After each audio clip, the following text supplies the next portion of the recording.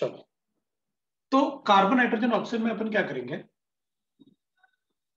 अगर कोई भी कंपाउंड कार्बन और हाइड्रोजन से बनेंगे तो दे आर कॉल्ड हाइड्रोकार्बन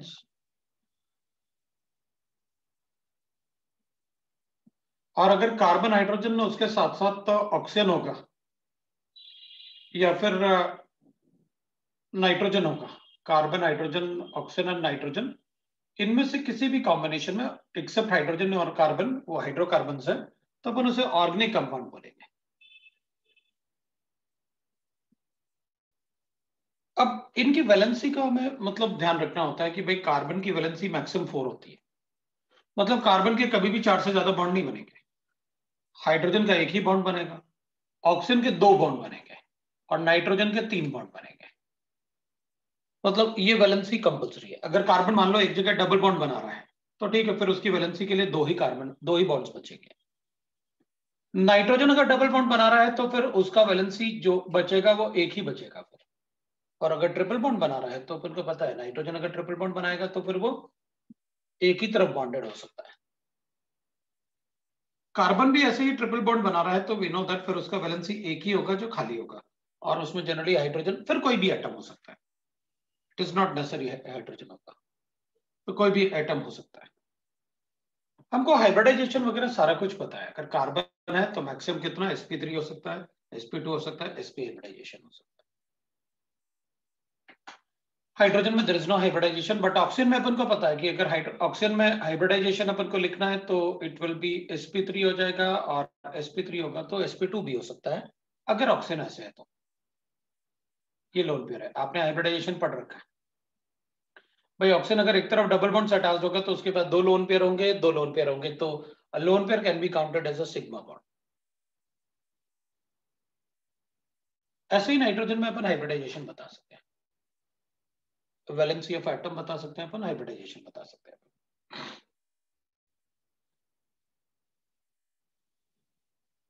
अगर हम ऑर्गेनिक कंपाउंड को, मान लो ऐसे लिखते हैं तो सपोज़ करते हैं कि हमारे पास ऐसे गिवन है, अपन ने ऐसे लिखा हुआ है।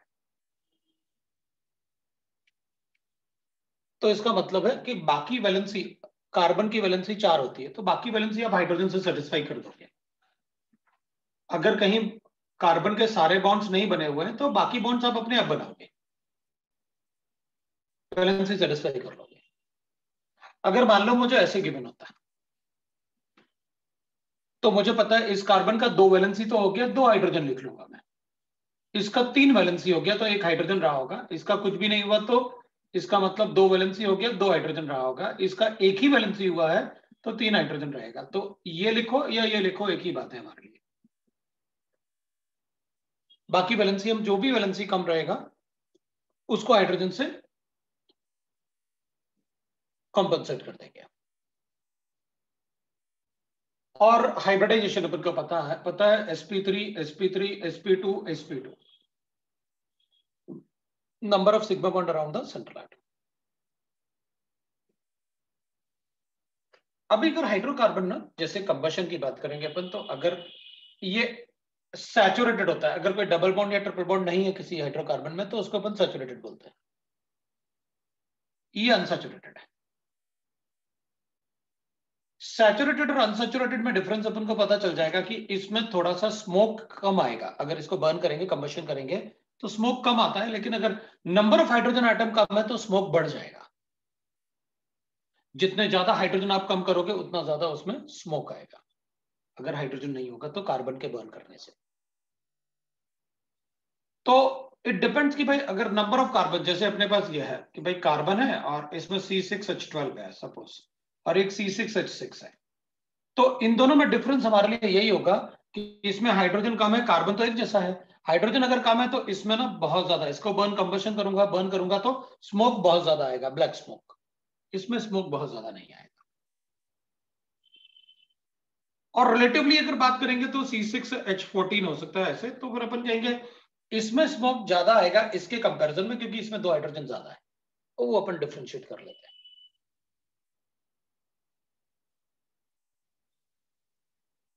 कार्बन की वैलेंसी, कार्बन के मतलब अपन ने लिखा कि भाई कैसे अपन डिफ्रेंशिएट कर पाएँगे कि अगर नंबर ऑफ़ हाइड्रोजन एटम कम है तो स्मोक ज़्यादा आएगा।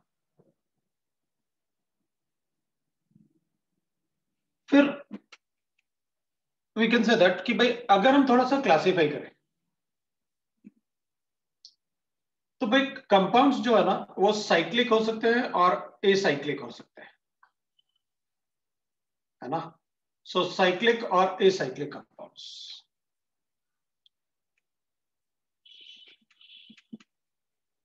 एसाइक्लिक मतलब होता है जो चेन वाले कंपाउंड्स होते हैं।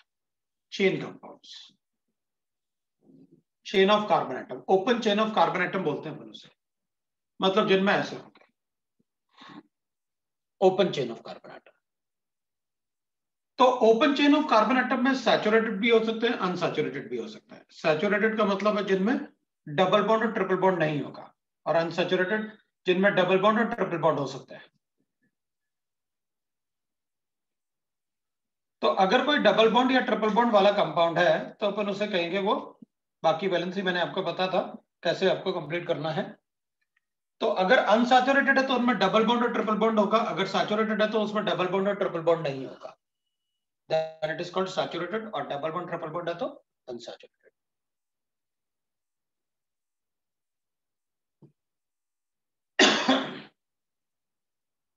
सैचुरेटेड में ये ज़रूरी नहीं है कि सिर्फ़ कार्बन ही हो सकता है, दूसरा कंपाउंड भी हो सकता है, ऐसे भी हो सकता है।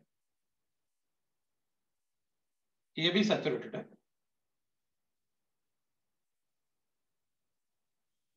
और इसमें अपन ऐसे भी लिख सकते हैं तो भी अनसैचुरेटेड में आएगा।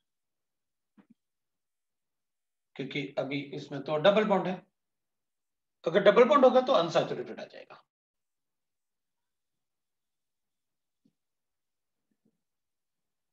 फिर साइक्लिक में व्हील से दैट एक होगा भाई, ऐसे ना दैट इज़ साइक्लिक जिसमें एक होगा होमोसाइक्लिक रिंग्स और एक होगा हेट्रोसाइक्लिक होमोसाइक्लिक मतलब rings made up of only one type of atom. Made of only carbon atom. तो अपन ऐसे बता देंगे three membered ring four membered ring like that जहाँ पर ये ब्रेक हो रहा है ना दिस इज़ कार्बन एटम ऐसे। ये कार्बन का वैलेंसी कंप्लीट करना था मैं हाइड्रोजन से, इसलिए मैं टू लिख रहा हूँ। कार्बन की चार वैलेंसी होगी ना। तो अगर आप ऐसे लिखोगे तो जहाँ भी लाइन ये बेंड होता है, वहाँ पर कार्बन है ये अंडरस्टूड होता है।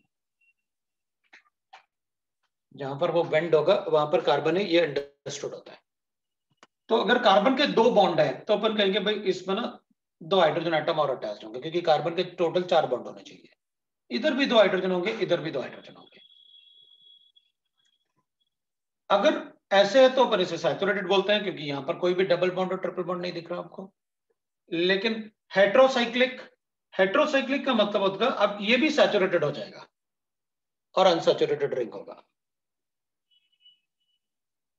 राइट अनसैचुरेटेड जो सैचुरेटेड और अनसेचुरेटेड होता है, वो जनरली अपन डिफाइन करते हैं कार्बन कार्बन से। दूसरे एटम में भी हो सकता है। सी डबल बॉन्ड भी लिख सकता हूँ मैं अनसैचुरेटेड लेकिन उसमें फंक्शनल ग्रुप भी आता है। तो वो फिर हमें फंक्शनल ग्रुप भी आना चाहिए। अभी हम सिर्फ़ डबल बॉन्ड कार्बन कार्बन के बेसिस पे बता रहे हैं। वो मैं आपको क्लियर कर दूँगा। आप चिंता मत करो, मेरे दिमाग में आया था वो कि आप डबल बॉन्ड को कहाँ लिखना चाहते हो। वो मैं बताऊँगा। हेट्रोसाइक्लिक का मतलब है rings made up of more than one type of atom so rings involving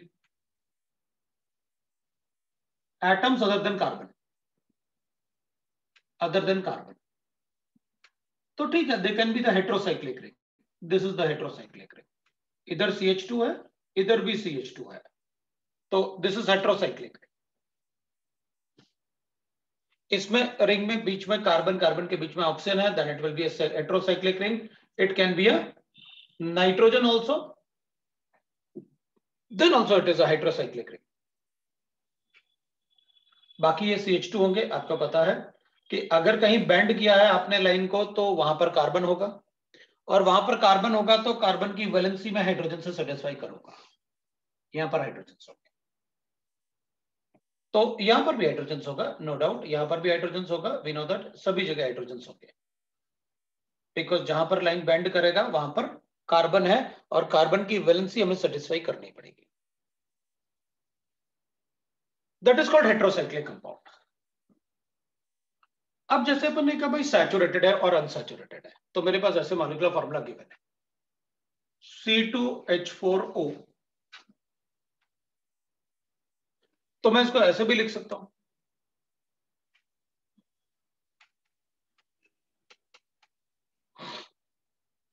मैं इसको ऐसे भी लिख सकता हूँ।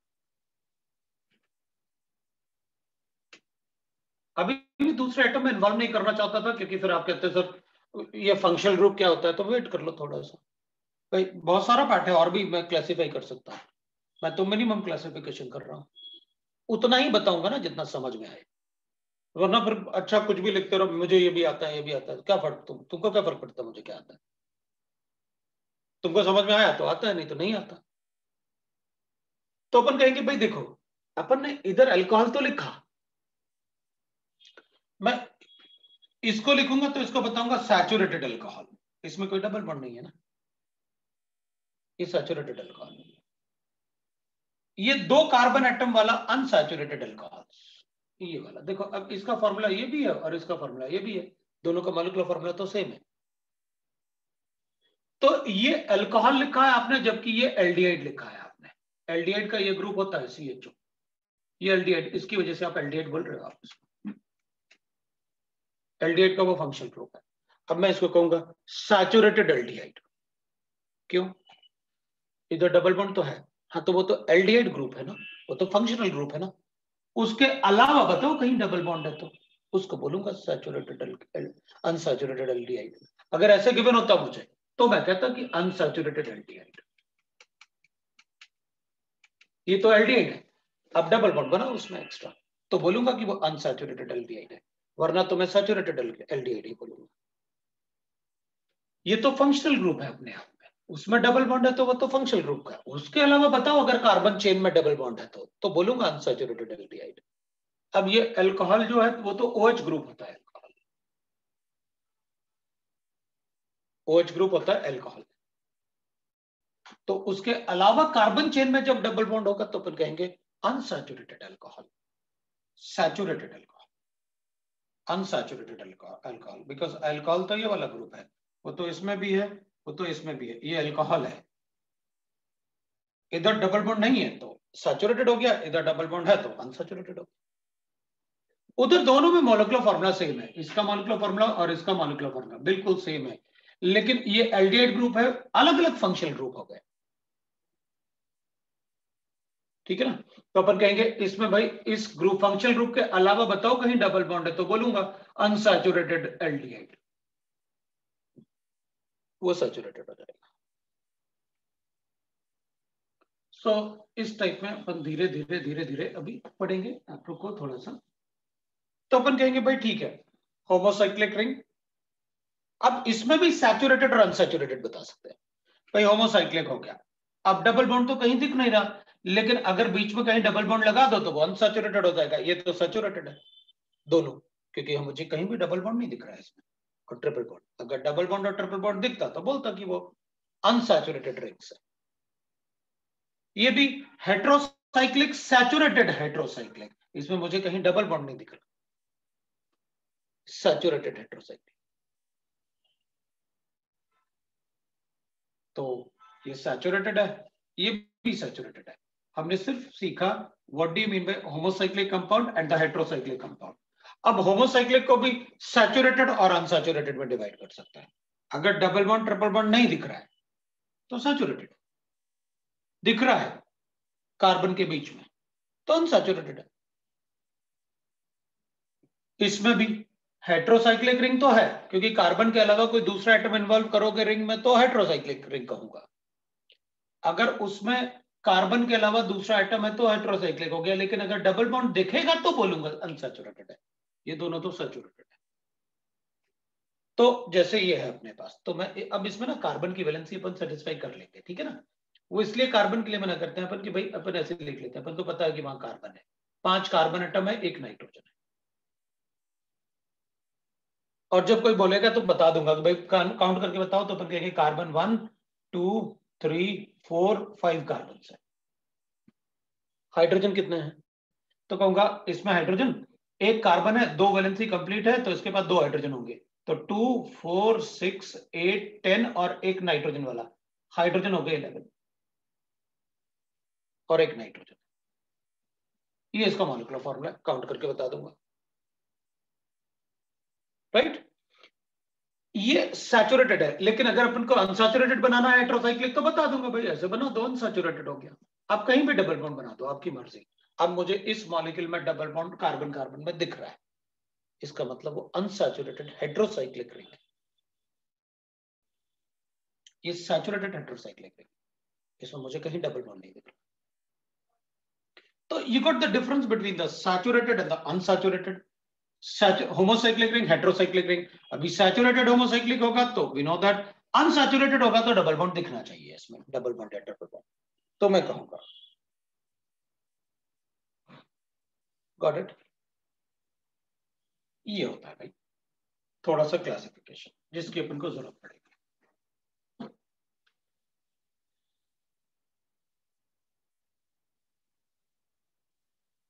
अब साइक्लिक रिंग में बेंजीन जैसे कंपाउंड भी आते हैं। मतलब साइक्लिक रिंग में अनसैचुरेटेड साइक्लिक रिंग्स जैसे ऐसे है अपने पास। Saturated cyclic ring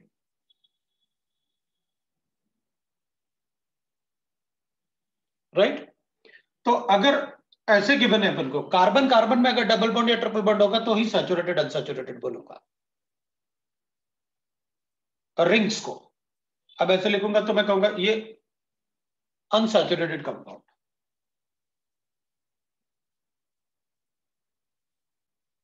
ये unsaturated compounds.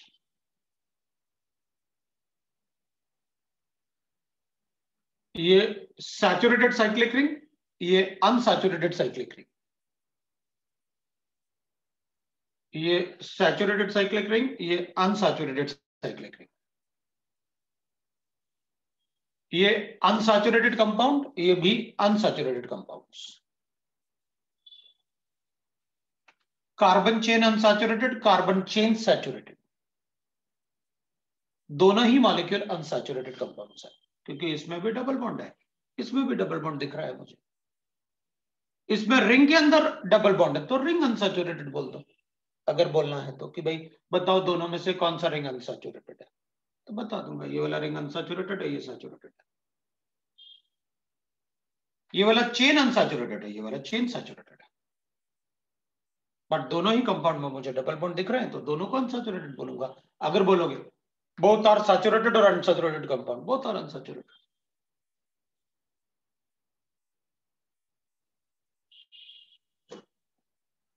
Both are unsaturated.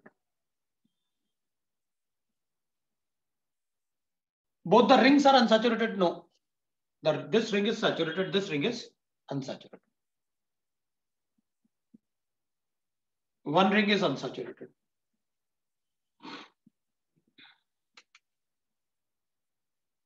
This is saturated ring this is unsaturated ring तो वो सैचुरेशन और अनसेचुरेशन कर सकता है। अगर कार्बन के अलावा कोई दूसरा एटम है तो अपन उसमें हेट्रोसाइक्लिक भी बोल सकते हैं।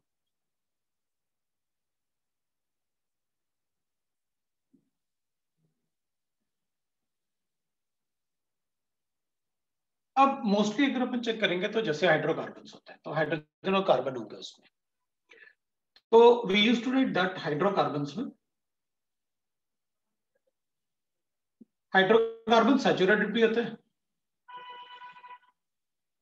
और अनसैचुरेटेड भी होता है।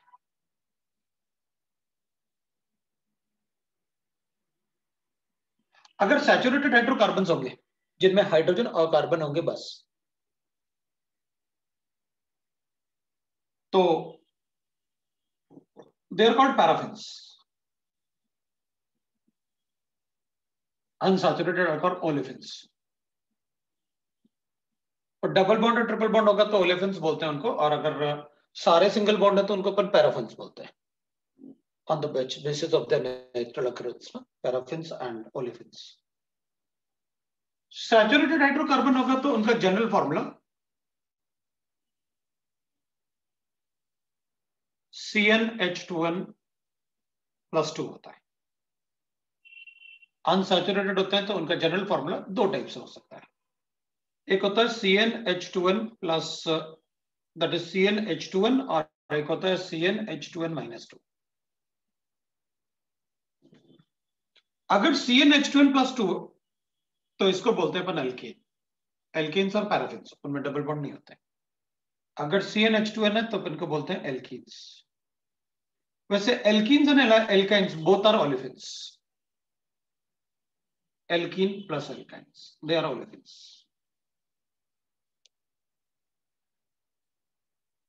paraffins और एल्केन्स इन एल्केन मतलब जिनमें सैचुरेशन होगा, और ओलिफिन्स मतलब अनसैचुरेशन एल्कीन और alkyne alkene means double bond और एल्काइन मींस ट्रिपल बॉन्ड ये सिंगल बॉन्ड होगा एल्केन में. अगर एन का वैल्यू वन है तो सी ये एन का वैल्यू वन है तो सी एच फोर होगा। तो दिस इज़ कॉल्ड मीथेन अगर एन का वैल्यू टू है तो सी टू एच सिक्स बनेगा। That is called ethane N का वैल्यू थ्री है तो सी थ्री एच एट होगा। That is called propane N का वैल्यू फोर है तो सी फोर एच टेन होगा। दैट इज़ ब्यूटेन एन का वैल्यू अगर फाइव है एन का वैल्यू अगर फाइव है तो सी फाइव एच ट्वेल्व होगा that is called pentane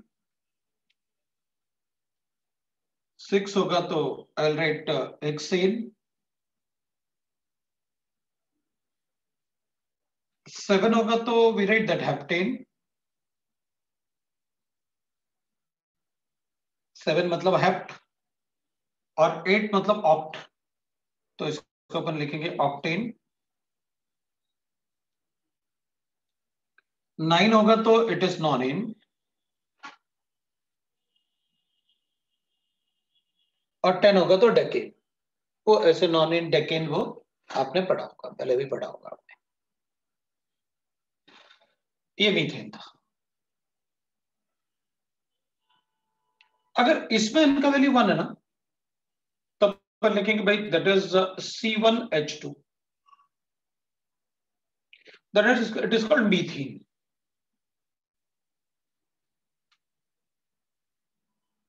but carbon का वैलेंसी सेटिस्फाई नहीं होगा इसमें। इसलिए जनरली इसको अपन कार्बन का वैलेंसी कंप्लीट नहीं है ना इसमें। इसमें कंप्लीट था। तो एल्केन में methane is the smallest alkane ethane उसके बाद इसमें स्मॉलेस्ट एल्कीन जो होगा ना इन दैट विल बी कम से कम कार्बन का वैल्यू टू तो होना ही चाहिए। दैट इज़ इथीन तो the smallest alkene is C two H four white is so इसमें ये तो कार्बन का वैलेंसी कंप्लीट हो ही नहीं सकता भाई। क्यों? कार्बन के चार वैलेंस इलेक्ट्रॉन एक एक हाइड्रोजन से मिलेगा तो टोटल छह हो गए। स्टेबल कैसे बताओगे? वो स्टेबल नहीं बता पाएँगे। तो अपन कहेंगे smallest alkene is C two H four भाई, इसमें तो मैं बता दूँगा ना ऐसे सी टू एच फोर में। दो कार्बन है, चार हाइड्रोजन है। सभी एटम का ऑर्बिट कंप्लीट इट्स स्टेबल तो वो स्टेबल होगा।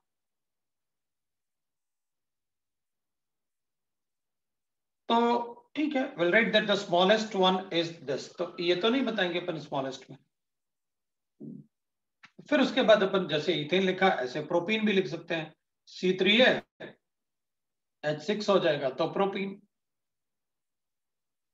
C will write that four है तो एच कितना हो जाएगा डबल हो जाएगा, उसका एट ब्यूटीन मतलब वर्ड रूट जो था, जैसे मिथ लिखा इथ लिखा प्रॉप लिखा ब्यूट लिखा तो ब्यूट इन हो गया प्रॉप एन की जगह इन हो गया।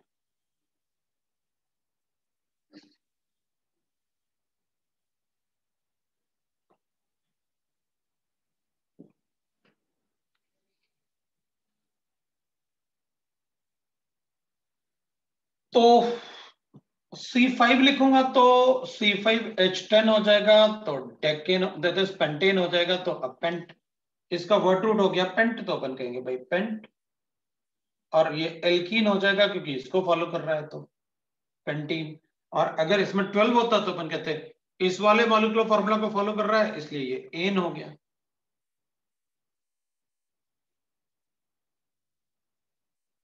सी सिक्स होगा तो एच डबल हो जाएगा ट्वेल्व तो अपन कहेंगे हेक्सेन तो हेक्सीन बन गया, क्योंकि ये इसको फॉलो कर रहा है इन वाले को। ये एन का फॉर्मूला था एल्केन ये इन का फॉर्मूला था एल्कीन और ये एल्काइन का फॉर्मूला है। जनरल फॉर्मूला फॉर एल्काइन तो जैसे एल्कीन था, इसमें भी अपन वैसे तो लिख नहीं सकते कार्बन वन है तो हाइड्रोजन हो जाएगा two in two minus two zero अब ये तो, एग्जिस्ट ही नहीं करेगा फिर। तो फिर कार्बन को कम से कम टू तो होना ही चाहिए। तो अपन लिखेंगे ये सी टू एच टू होगा। सी टू होगा तो two into two four minus two it will be two then अगर कार्बन टू होगा तो word root will be this eth अगर कार्बन वन है तो वर्ड रूट होता है मिथ कार्बन टू है तो वर्ड रूट होता है इथ कार्बन थ्री है तो प्रॉप कार्बन फोर है तो राइट ना? वो उसके बेसिस पे अपन लिखते हैं on the basis of carbon तो डिपेंडिंग ऑन कि भाई अगर कार्बन एक ही कार्बन है तो अपन कहते हैं वर्ड रूट हो जाएगा मिथ अब अगर इसको फॉलो कर रहा है तो एन लिख दो, इसको फॉलो कर रहा है तो इन लिख दो. इसको फॉलो कर रहा है तो आइन लिख दो, जैसे ये था. तो अपन लिखेंगे ईथ ये तो वर्ड रूट हो गया कार्बन टू अब ये बताओ कौन सा फॉर्मूला फॉलो कर रहा है, ये वाला ये वाला या ये वाला? अगर ये फॉलो कर रहा है आपका मॉलिक्यूल तो एन लिख दो, इसको फॉलो कर रहा है तो इन लिख दो, और इसको फॉलो कर रहा है तो आइन लिख दो, ये लो भाई आइन लिख दिया।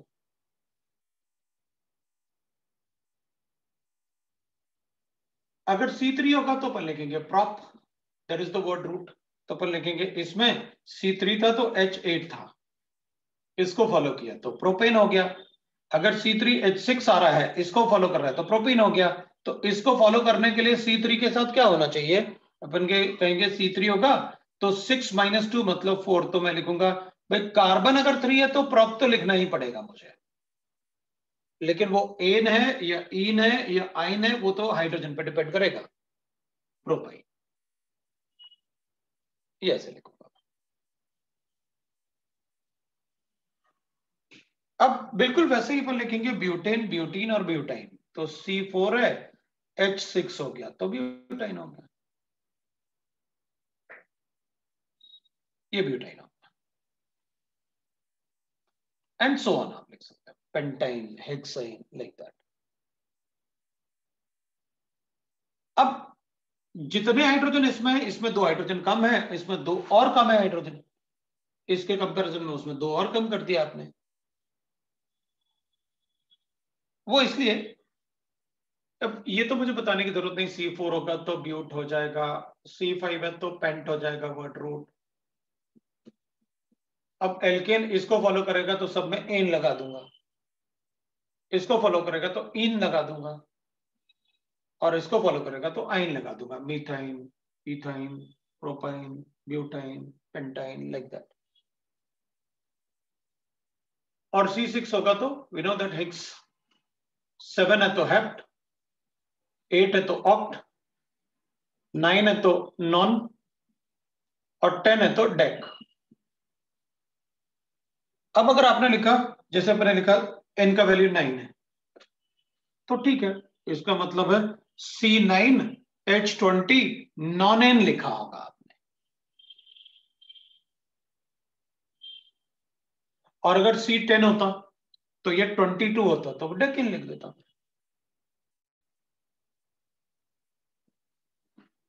तो अगर मान लो इधर ऐसे सी फोर है और एच एट है तो अपन कहेंगे अच्छा सी फोर है।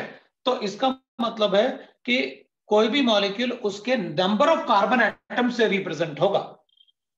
किसी भी मॉलिक्यूल को हम उसके कार्बन के नंबर से उसको पहचानेंगे, ना कि हाइड्रोजन के नंबर से। हर बार आप, क्योंकि ये वर्ड रूट जो नाम लिख रहे हो, वो नाम किसके बेसिस पे लिखा आपने? कार्बन के नंबर के बेसिस पे। तो इसका मतलब है the number of carbon atom will decide कि उसका नाम कितना होगा। हाइड्रोजन डिसाइड नहीं करेगा। हाइड्रोजन तो चेंज हो सकता है।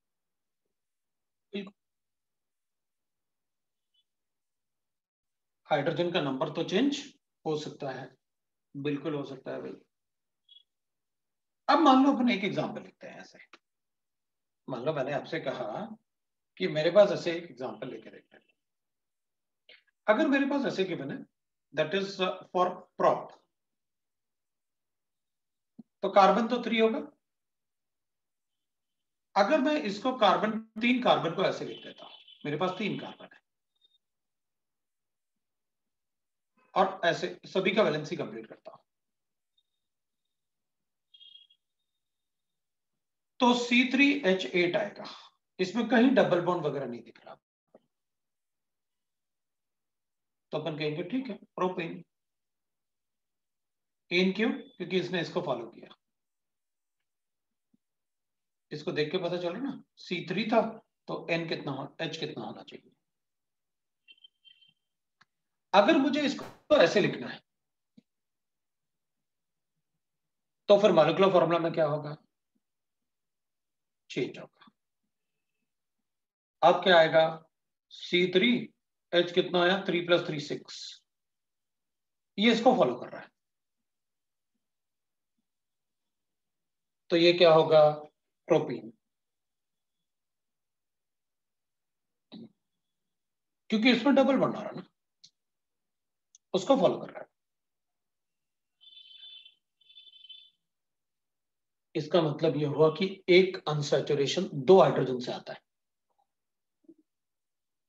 अगर आप इसमें से दो हाइड्रोजन निकाल दो, एक डिग्री अनसेचुरेशन आ जाएगा। मतलब एक डबल बॉन्ड बना देंगे अपन, एक पाई बॉन्ड बना देंगे डबल बॉन्ड मतलब पाई बॉन्ड तो इसमें कितने सिग्मा बॉन्ड है तो काउंट करूँगा। One two three four five six seven eight plus two ten sigma bond है। इसमें कितने सिग्मा बॉन्ड है? तो one plus two one two three four five six seven eight sigma bond है। इसमें एट सिग्मा बॉन्ड है, एक pi bond है। इसमें टेन सिग्मा बॉन्ड है। That we know how to calculate अब अगर मान लो मैंने ऐसे लिखा हुआ है। तो अपन को पता है, फिर आप हाइड्रोजन यहाँ नहीं लिख सकते। आपको ऐसे ही लिखना पड़ेगा। कार्बन की वैलेंसी चार से ज़्यादा थोड़ी हो सकती है। कार्बन कभी चार से ज़्यादा बॉन्ड नहीं बनाएगा। कार्बन क्या? कोई भी एटम चार से ज़्यादा बॉन्ड बना ही नहीं सकता।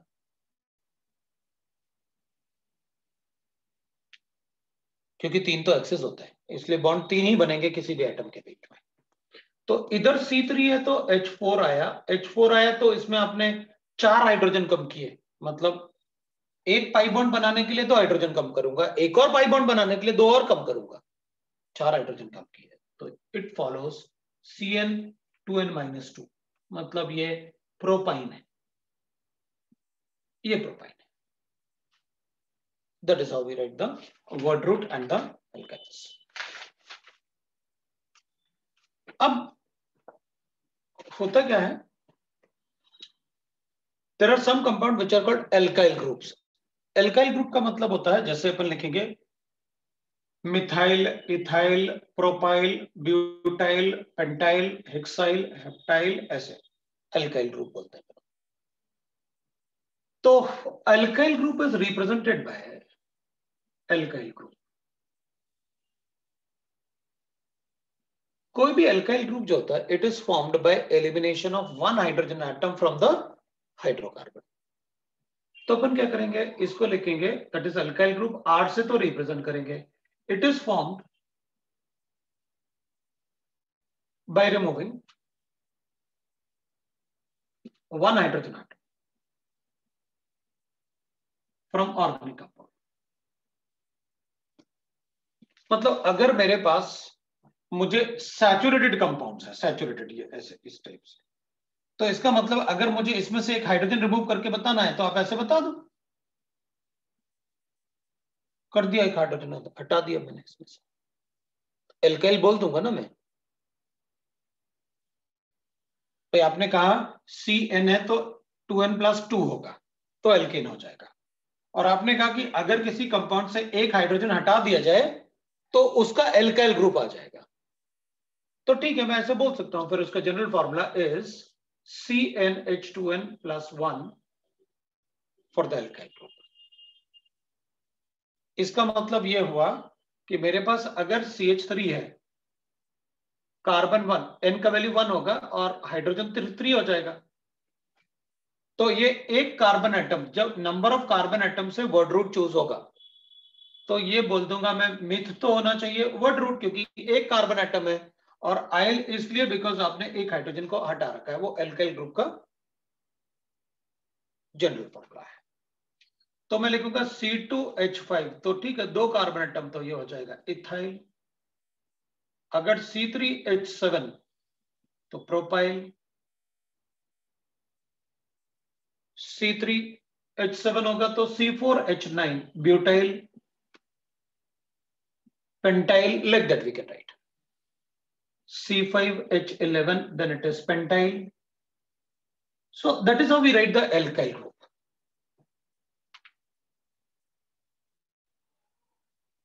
that is how we write the alkyl.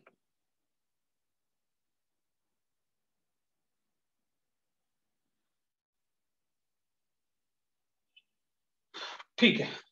अब मान लो अज्यूम करते हैं अपन कि भाई आपने कहा कि एक हाइड्रोजन रिमूव करो तो आयल ग्रुप लगता है। मान लिया भाई। है ना? एक हाइड्रोजन रिमूव करो तो अपन को एक वो लगेगा, ठीक है? अज्यूम कर लिया अपन कैसे अपन को बताना है? तो अब मुझे स्ट्रक्चर लिखने की ज़रूरत नहीं, इन सबकी कि भाई एक कार्बन एटम होता है तो वी राइट दैट मीथेन दो कार्बन एटम है तो इथ तीन कार्बन एटम है तो प्रॉप चार कार्बन एटम है तो ब्यूट पाँच कार्बन एटम है तो pent like that we know that बाकी वैलेंसी अपन हाइड्रोजन से सेटिस्फाई करेंगे। लेकिन ब्यूटे ब्यूटे जो आप लिखोगे, मैं उसको ऐसे भी तो कर सकता हूँ, चार कार्बन एटम को। इट्स कॉल्ड ब्रांचिंग भाई, इसमें तो ब्रांचिंग नहीं हो सकती, क्योंकि ब्रांचिंग को करोगे क्या? ऐसे थोड़ी लिख दोगे। लो भाई, अब मैंने उधर को लिख दिया तो हो गया। हम तो ऐसे लिखेंगे नंबर भाई, एक, दो, तीन कार्बन आइटम आपस में अटैच्ड है। अब चाहे उसे स्ट्रेट चेन लिख लो, चाहे आप ऐसे लिख लो। हाँ इसको नहीं कह सकता मैं। क्योंकि ये तो चारों के चारों स्ट्रेट चेन में थे, एक दूसरे से अटैच ये स्ट्रेट चेन में अटैच नहीं है। ये कार्बन भाग गया अलग। इस कार्बन से अटैच है। इसको ब्रांचिंग बोलेंगे।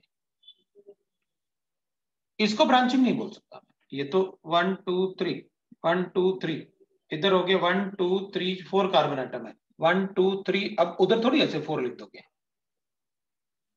ये तो लीनियरली अटैच थे ना एक दूसरे से। ये ब्रांचिंग है, ये ब्रांचिंग नहीं है। तो you are able to see the difference between the branching and non branching अगर ब्रांचिंग होगा तो कैसे दिख रहा होगा इसमें भी ब्रांचिंग हो सकती है। पर कहेंगे, मैं इसको ऐसे भी लिख सकता हूँ। आप इसको ऐसे लिखो। पाँच कार्बन ठीक है, ये ब्रांचिंग है। या मैं ऐसे भी लिख सकता हूँ। ये लो, इसमें भी सिर्फ़ पाँच कार्बन एटम है। और मॉलिकुलर फॉर्मूला भी सेम रहेगा। इसके तीन हाइड्रोजन क्योंकि एक कार्बन कार्बन से बॉन्ड बन गया तो तीन hydrogen atom terminal carbon atom वाला हमेशा सी एच थ्री होगा। वो क्यों? क्योंकि हाइड्रोजन एक कार्बन से अटैच होगा, तीन हाइड्रोजन तो लिखना ही पड़ेगा उसके साथ टर्मिनल वाले के साथ। वैलेंसी सेटिस्फाई करने के लिए। और बिटवीन टू कार्बन एटम अगर सैचुरेटेड है तो दो हाइड्रोजन एटम होंगे। मतलब ये भी सी होगा, ये भी सी होगा, ये भी सी होगा। क्योंकि दोनों तरफ़ एक एक बॉन्ड तो हो गया, अब दो हाइड्रोजन और लिखो तो वैलेंसी सेटिस्फाई हो जाए। ये तीन तरफ़ से अटैच्ड है तो इसके तीन बॉन्ड हो गए तो एक ही हाइड्रोजन होना चाहिए अब इसमें।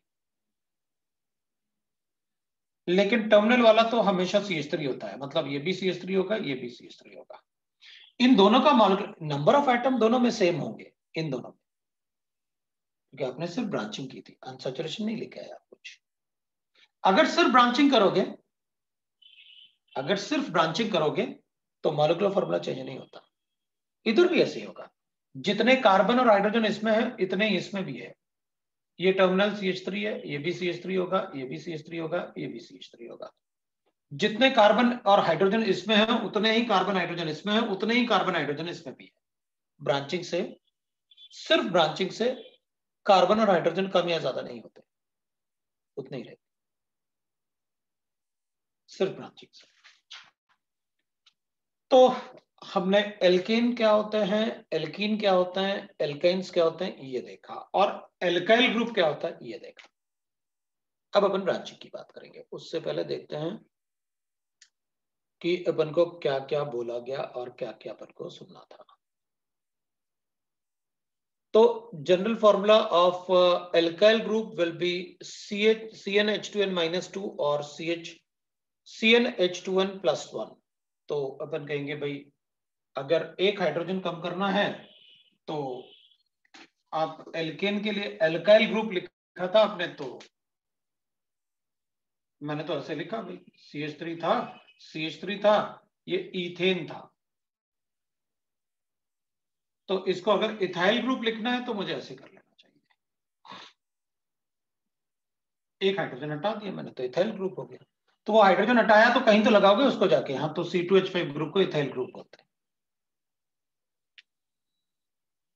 अब वो कह रहा कि भाई ये तो ठीक है आपने ऐसे कहा कि भाई C N H two N plus two है। तो आपने इसको C N H two N minus H two N plus one कर लिया। एक हाइड्रोजन हटा दिया। मान लिया। अब वो कह रहे हैं कि सर अगर ऐसे पहले से ही ऐसे है तो और मैं इसको इथिन बोलूँगा। तो फिर मैं क्या करूँगा? और इसका फॉर्मूला तो C N H two N plus H two N है। तो फिर क्या करूँगा? तो कहेंगे अपन, ठीक है भाई, कोई बात नहीं। इसको C H two double bond C H लिख लेते हैं। एक हाइड्रोजन आपने हटा दिया। तो फिर इसका नाम भी फिर आप इथेनाइल लिखोगे। भाई, इसको भी एल्काइल ना एक हाइड्रोजन रिमूव करोगे तो आयल ग्रुप आएगा वाई एल तो फिर तो फिर इसमें तो आपको ऐसे लिखना पड़ेगा C N H two N minus one भाई, इसमें तो पहले से ऐसे था। तो अब ये इथिन तो नहीं था, ये तो सारे के सारे आपने सैचुरेटेड बता दिए मुझे। C two H five ethyl group C three H seven तो C three H eight alkane था, एक हटा दिया तो आपने प्रोपाइल बना दिया। वॉट अबाउट दैट जो पहले से ही थी ना? उससे एक हाइड्रोजन एटम हटाऊँगा तो इथेनॉइल बना दो। अच्छा। इसका मतलब है, अगर तुम मुझसे ये बोल रहे हो कि अगर मेरे पास पहले से ऐसे है तो इसको आप इथाइन बोलते हो। Right right? और इसका फॉर्मूला आप मुझे जनरल फॉर्मूला देते हो C N H two N minus two ये आपने जनरल फॉर्मूला दिया तो अगर इसका एल्काइल बनाना है तो तो एक हाइड्रोजन हटाना पड़ेगा तो अपन ऐसे लिखेंगे। तो फिर इसको क्या बोले तो फिर कहेंगे, कोई बात नहीं, इसको बोल दो इथाइनाइल तो फिर इसका जनरल फॉर्मूला क्या होगा? उससे भी माइनस वन कर दो।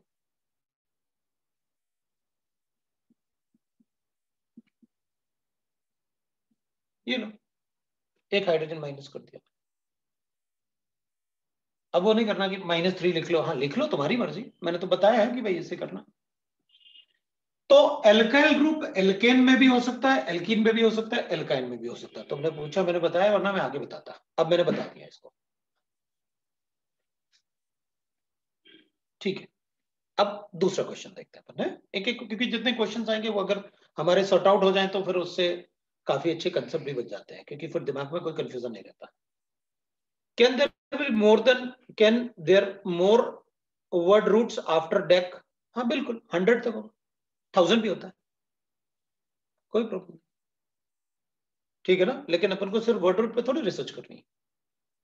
राइट ठीक है भाई, बिल्कुल होंगे। मतलब अपन पढ़ेंगे दो डेकेन मतलब ट्वेल्व पेंटा डेकेन ऐसे अपन पढ़ेंगे भी। थोड़ा सा अपन और देख लें क्वेश्चन अच्छा एक क्वेश्चन है सर ये नीचे वाला नहीं दिख रहा। अच्छा बताओ हटा ही दिया तुमने। अच्छा बता दिया था, लेकिन मैंने ये नॉन इन वगैरह ऐसे लिख के बता दिया था, है ना? वो अब बोर्ड अपने पास इतना ही है ना, क्या करेंगे इतना ही पढ़ सकते हैं चलो बस दूसरा देखते हैं, है? फिर अपने पास है, unsaturated can only be if the double bond or triple bond occurs only between the carbon atoms right? बिल्कुल राइट right. लेकिन वो सिर्फ़ कार्बन एटम में, अपन ऐसे भी बता देंगे लेकिन अनसेचुरेटेड में। अगर मान लो मेरे पास ऐसे गिवन है और ये नाइट्रोजन इसको डबल बॉन्ड लिख दूँ तो? तो अपन कहेंगे ना अनसेचुरेटेड रिंग हेट्रोसाइक्लिक रिंग भाई कार्बन नाइट्रोजन में भी डबल बॉन्ड हो सकता है। क्योंकि ये कोई फंक्शनल ग्रुप थोड़ी होता है।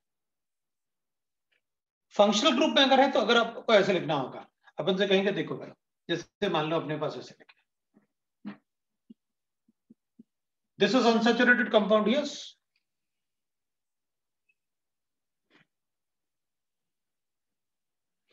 This is unsaturated aldehyde, no?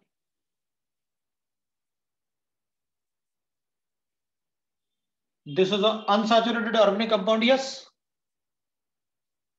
दिख तो रहा है double this is unsaturated aldehyde no क्योंकि आपने अनसैचुरेटेड एल्डिहाइड का मतलब इसको हटा लो ये तो एल्डिहाइड ग्रुप है अब बताओ अनसैचुरेशन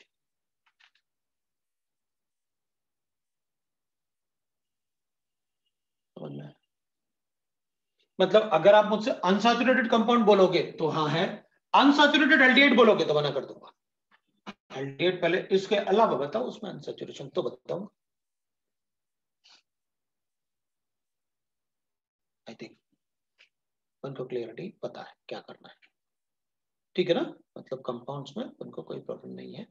ना ही प्रॉब्लम आएगा अब अपन को कि अपन को क्या करना है। एवरीबडी गॉट इट मैंने एन नाइन का क्या है? नाम नॉन एन लिखा है? नॉन अगर एल्केन होता है तो नॉन एन एन हो जाएगा ना। सी नाइन के लिए। अपन ने वर्ड रोटी लिखे थे। ठीक है। अब ठीक है, मैं हटा रहा हूँ उसको, है? ये वाला पार्ट थोड़ा ध्यान रखना अच्छे से। वैसे ये पार्ट स्कूल वगैरह में भी होता है तो अपन को अच्छे से पता भी होता है। अब ना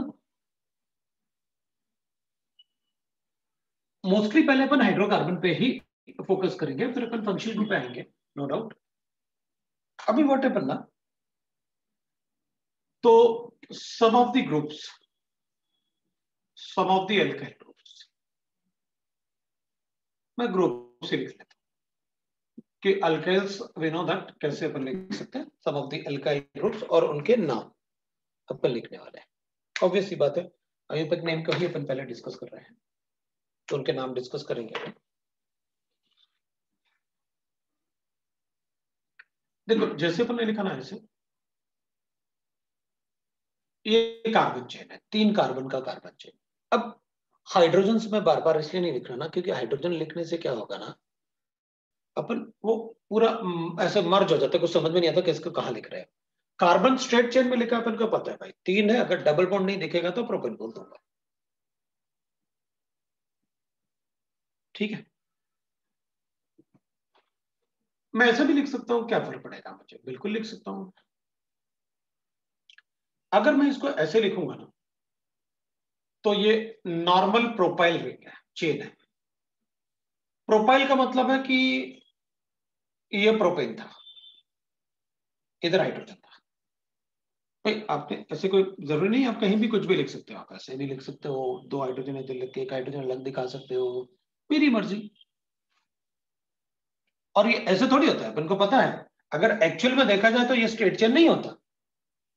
भाई, ये कार्बन sp3 हाइब्रिडाइज्ड है सारे के सारे। How can it be like this इसका प्रॉपर स्ट्रक्चर देखेंगे तो ऐसे लगेगा। कार्बन एक कार्बन दूसरा कार्बन इस कार्बन का एक बॉन्ड दूसरा बॉन्ड और थर्ड बॉन्ड एक अंदर की तरफ़ होगा बॉन्ड एक बाहर की तरफ़ होगा बॉन्ड sp3 बनाओ टेट्राहेड्रल बनाने सारे के सारे। इनके बीच में bonding should be around one ये वाला बॉन्डिंग जो होगा one zero nine point two eight minutes जैसे बनाने पड़ेंगे। बिल्कुल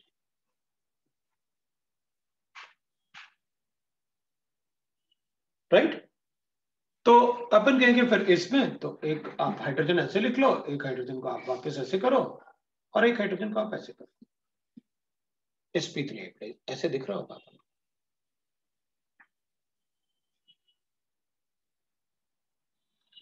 तो ऑब्वियसली बात है, ये ऐसे होगा। तो अपन प्रोपेन लिखेंगे। ऐसे लिखो या ऐसे लिखो it is a propane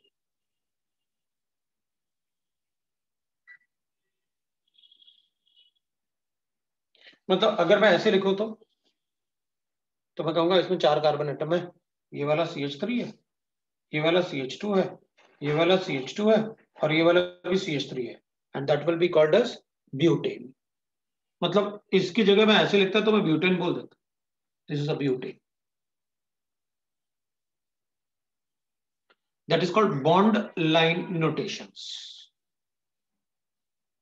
carbon दिखाने की ज़रूरत नहीं पड़ती है। ठीक है। अगर कोई कार्बन ऐसे है ना, जैसे अपन ने ऐसे लिखा। One two three four five six तो मैं इसको एन हेक्सेन लिख दूँगा। नॉर्मल हेक्सेन नॉर्मल मतलब अगर कोई स्ट्रेट चेन है, उसमें ब्रांचिंग नहीं है तो अपन उसको कहते हैं नॉर्मल हेक्सेन नॉर्मल हाइड्रोकार्बन अगर ब्रांचिंग नहीं है तो इट इज़ कॉल्ड नॉर्मल तो एन बोलता है तो जैसे यहाँ पर ब्रांचिंग तो है नहीं भाई आपने तो यहाँ पर सीधा सीधा सी लिखा। तो मैं इसको नॉर्मल प्रोपेन लिख दूँगा।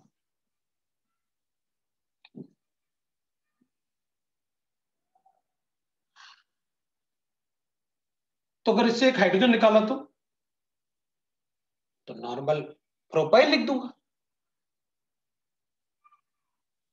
आप उसे ब्यूटेन लिखो या नॉर्मल ब्यूटेन लिखो। अगर स्ट्रेट चेन है तो अंडरस्टूड है कि वो नॉर्मल है। अंडरस्टूड है कि वो नॉर्मल है। ब्यूटेन लिखा तो। इससे हाइड्रोजन निकाला तो नॉर्मल प्रोफ़ाइल हो गया।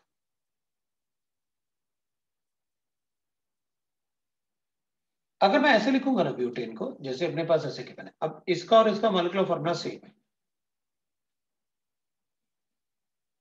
ये हो गया। That this will be a chain compound. I will say normal butane. इधर क्यों लिख रहे हैं? इधर ही लिखते हैं ना। चलेगा, कोई प्रॉब्लम नहीं। ये आइसोब्यूटेन मतलब सिर्फ़ ब्यूटेन लिखने से दोनों में काम नहीं चलेगा। अगर ब्रांचिंग हो गया तो आपको बताना पड़ेगा कि उसमें ब्रांचिंग हो रही है। तो मैं आपको ये बताना चाहता था कि ये एन और आइसो का मतलब क्या है? प्रोपाइल लिखने का मतलब है जब आप किसी को हाइड्रोजन हटाओगे इससे तो कुछ तो लगाओगे ना इसमें। इसको छोड़ थोड़ी देखोगे कहीं तो अटैच होगा, ये कुछ तो इसमें लगाओगे आप। मान लो मेरी मर्ज़ी, में ऐसे लिख देता हूँ। भाई वो हाइड्रोजन हटाने के लिए, हटाया ही इसलिए है कि कुछ लगाना पड़ेगा। लो अल्कोहल लिख दिया तो मैं इसको ऐसे लिख दूँगा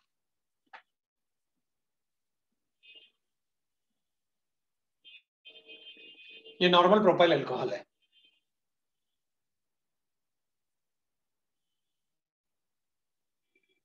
इसलिए हटाया मैंने वो हाइड्रोजन ताकि वहाँ कोई ग्रुप लगा दे। या इसको एज अ ग्रुप कहीं लगा दो। इसको भी एज अ ग्रुप कहीं लगा सकते हैं। तो अपन कहेंगे ये भाई प्रोपाइल ग्रुप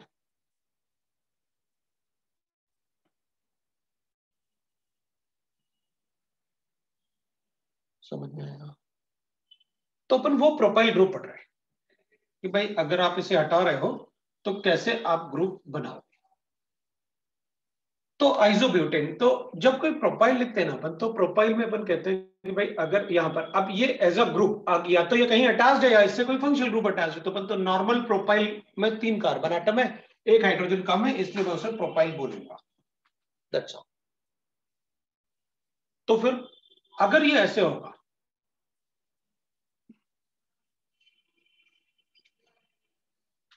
और फिर ये कहीं अटैच है। मतलब जैसे अभी बताया था ना मैंने CH3, CH2, CH2OH. N propyl alcohol तो अगर मैं इस अल्कोहल को यहाँ लिख दूँ तो मेरी मर्ज़ी। तो अपन कहेंगे कोई बात नहीं ये आइसोप्रोपाइल अल्कोहल है।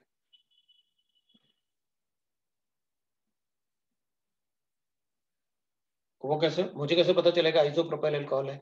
तो अपन कहेंगे, ये जो ग्रुप लिखा ना आपने, ये वाला। इसको आइजो ग्रुप बोलते हैं।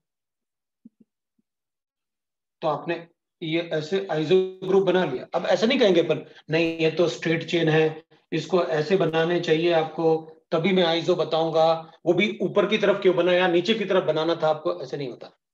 आप कहीं भी लिख सकते हो, वो कार्बन का अरेंजमेंट वैसे देखना चाहिए मुझे। आप इसको ऊपर लिखो या नीचे लिखो, फ़र्क नहीं पड़ेगा।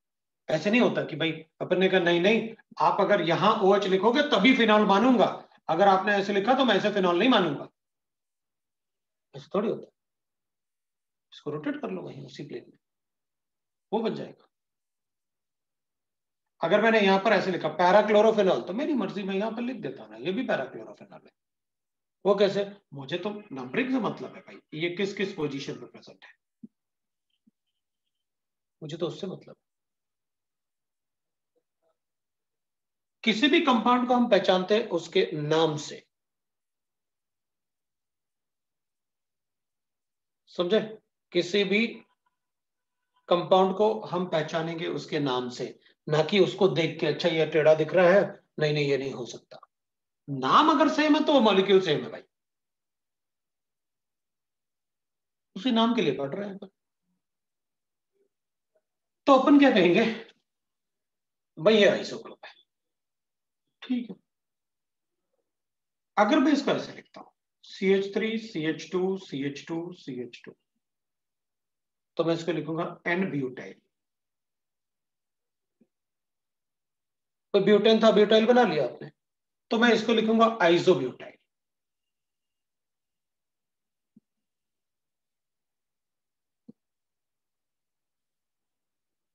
आपको पता है, ये आइजो ग्रुप है। अब यहाँ कार्बन चेन बढ़ाते रहो। आइजोब्यूटाइल आइजोपेंटाइल आइजो एक्साइल बनाता रहूँगा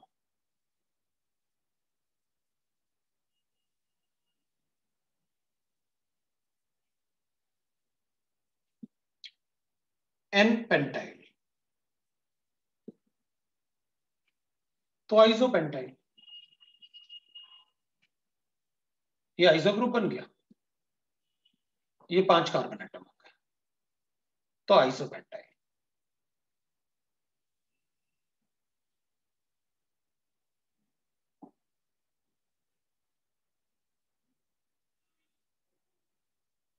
तो अगर मैं ऐसे लिखूं तो?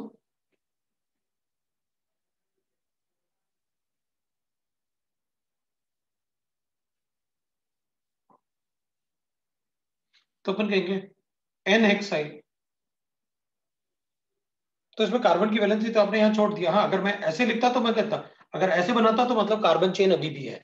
आपने यहाँ नहीं बनाया, इसका मतलब वो हाइड्रोजन से वैलेंसी कंप्लीट करूँगा। छह कार्बन एटम है इसमें। इसलिए एन हेक्साइल लिखा। ये बनाने का मतलब ही है कि ये कहीं अटैच्ड है, या इसमें कुछ अटैच्ड है। तो आइजो एक्साइल हाँ ठीक है तो आप बोलते हो ना कि ऐसे बना दिया करो।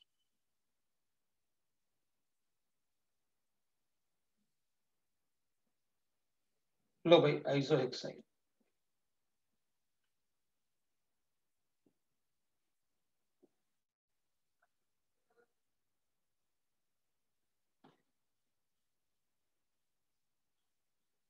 ठीक है।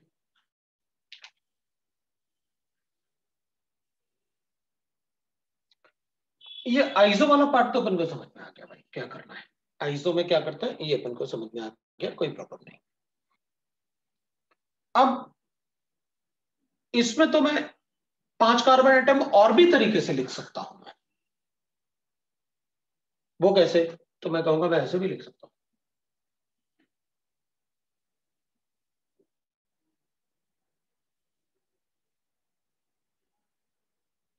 भाई, फिर इसको एल्काइल ग्रुप मान लो ना। मैंने थोड़ा और ब्रांचिंग कर लिया। या इसमें भी मैं थोड़ा और ब्रांचिंग कर सकता हूँ। जैसे इसमें किया, वैसे इधर भी ना। ये देखो, ऐसे ये वाला ग्रुप एक और बना लिया ना अपन, ऐसे।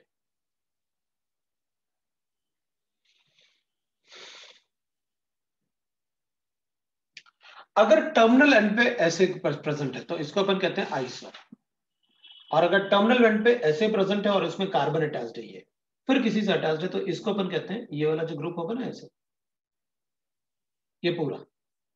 इतना कार्बन उससे चारों तरफ़ कार्बन अटैच्ड है।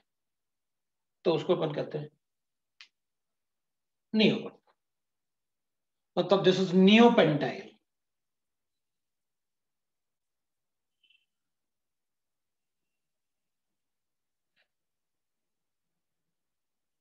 This is neopentyl. Then this will be ये नहीं था इसको अपन नियो बोलते हैं। और टोटल एल्काइल ग्रुप में कितने कार्बन एटम है? छ तो यहाँ टोटल में कितने कार्बन थे? पाँच। तो अपन ने पेंटाइल लिखा। तो इधर टोटल कितने हैं? छ तो नियो एक्साइल लिखो।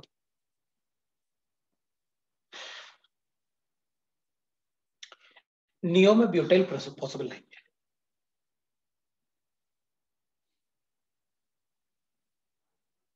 इसको नियो नहीं बोलते नियो में कम से कम पाँच कार्बन एटम होंगे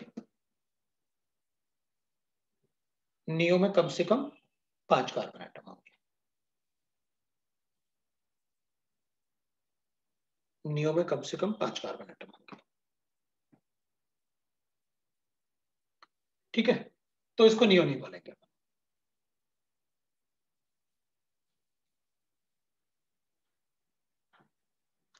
तो फिर इसको क्या बोल सकते हैं? आप टर्शरी ब्यूटाइल बोल सकते हो। इसको टर्शरी ब्यूटाइल बोल सकते हो।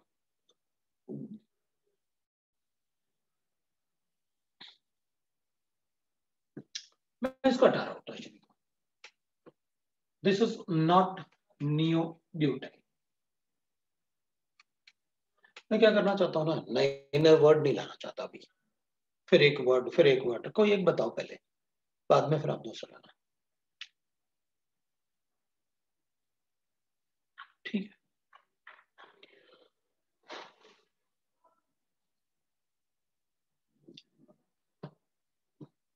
ठीक है।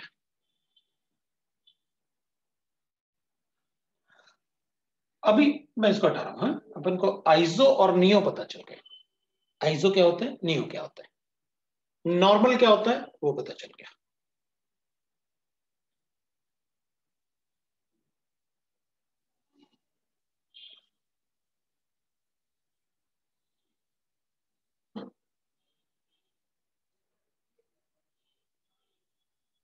Degree of carbon atom and hydrogen atom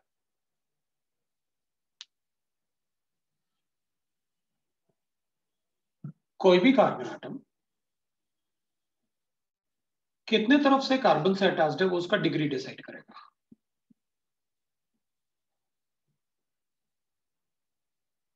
कोई भी कार्बन एटम कितने तरफ़ से कार्बन से अटैच्ड है, वो उसका डिग्री डिसाइड करेगा।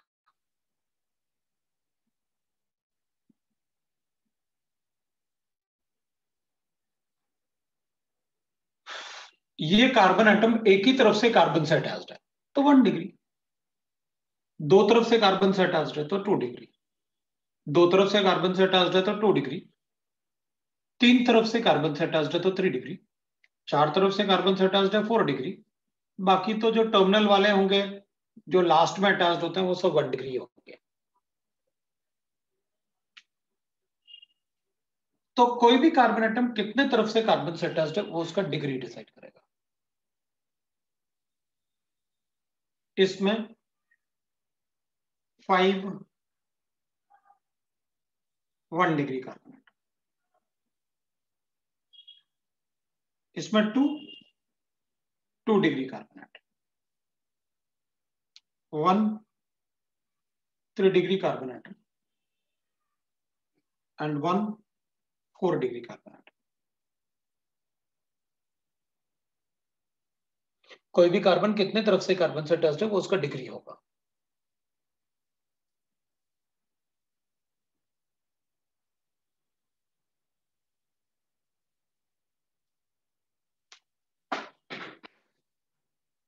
और जो कार्बन का डिग्री होगा,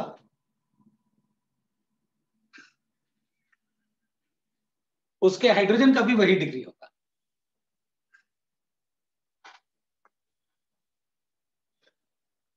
तो वन डिग्री हाइड्रोजन एटम कितने हो गए? इसके पास तीन, इधर भी थ्री इधर भी थ्री इधर भी थ्री और इधर भी three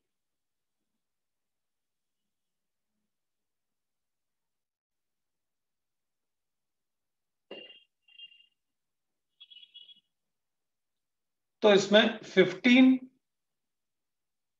one degree hydrogen atom हो गया।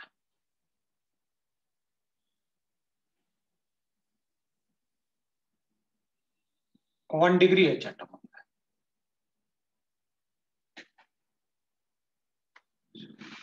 भाई, जितने कार्बन थे, उसको वन डिग्री कार्बन हर एक कार्बन के पास तीन हाइड्रोजन होंगे।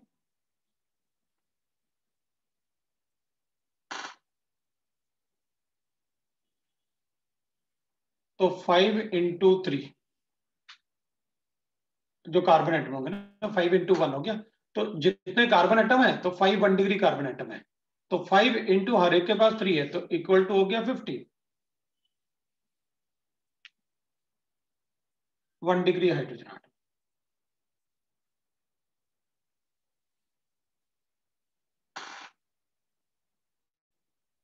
तो टू डिग्री हाइड्रोजन आटम दो इसके पास होंगे, दो इसके पास होंगे। Four one degree hydrogen two degree hydrogen atom one three degree hydrogen atom four degree possible नहीं अगर कार्बन ही फोर डिग्री है तो उसके पास हाइड्रोजन कैसे होगा? कोई भी कार्बन एटम जो भी टर्मिनल कार्बन एटम है, वो वन डिग्री ही होगा। क्योंकि डिग्री फॉर कार्बन एटम होता है the number of side by which the carbon atom is attached with other carbon atom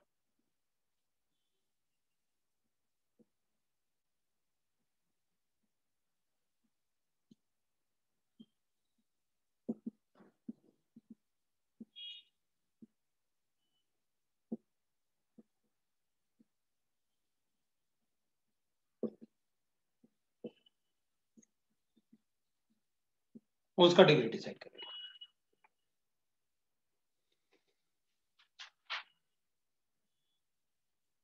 ठीक है?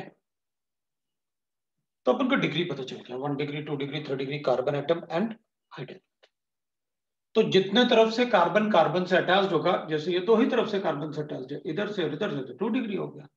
ये तीन तरफ़ से अटैच था, इधर से भी, इधर से भी, इधर से भी तो ये थ्री डिग्री कार्बन एटम हो गया। लाइक दैट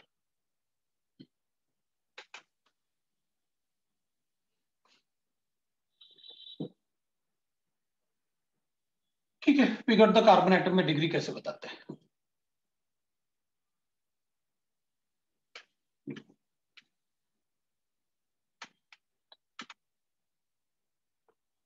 अगर मेरे पास C H three C H two C H two C H two है, मैं लिखूँगा एन ब्यूटेन।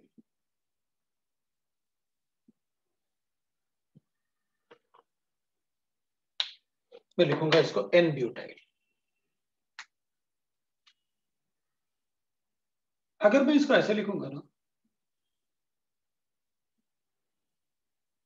तो I will write this as isobutyl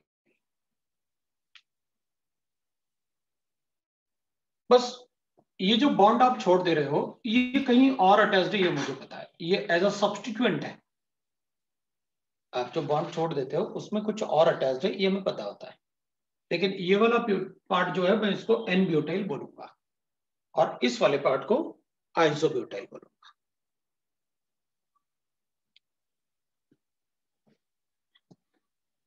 अगर मैं इसको ऐसे लिखूँगा,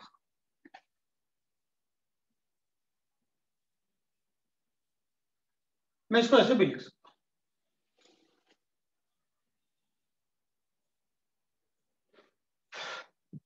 इन दोनों में डिफरेंस है। इसमें वन डिग्री कार्बन एटम किसी ग्रुप या चेन से अटैच होता है। इसमें टू डिग्री कार्बन एटम किसी ग्रुप या चेन से अटैच होगा।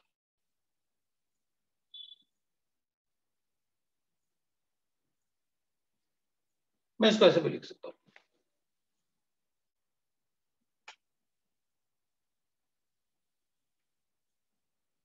इसमें थ्री डिग्री कार्बन एटम किसी ग्रुप या चेन से अटैच होगा। अगर आइसो ग्रुप ये वाला होता है और इसमें one degree carbon atom attach था तो आइसो ब्यूटाइल है, इसमें टू डिग्री अटैच है तो इसको मैं सेकेंडरी ब्यूटाइल बोलूँगा। सेकेंडरी ब्यूटाइल मतलब सेक ब्यूटाइल तो सेकेंडरी ब्यूटाइल हो गया।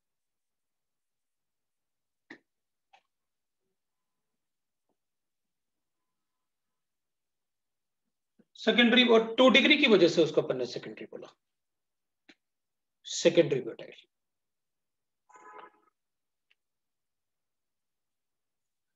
और थ्री डिग्री होगा तो वो टर्शरी होगा। उसको अपन टर्ट ब्यूटाइल बोलते हैं। टर्शरी मतलब थ्री डिग्री होता है।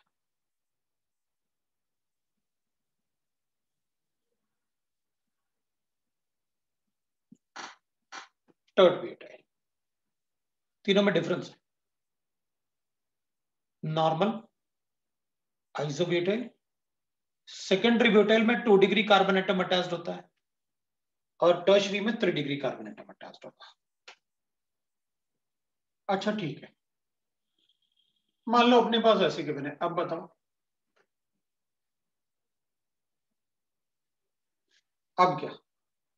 तो लिखूँगा एन पेंटाइल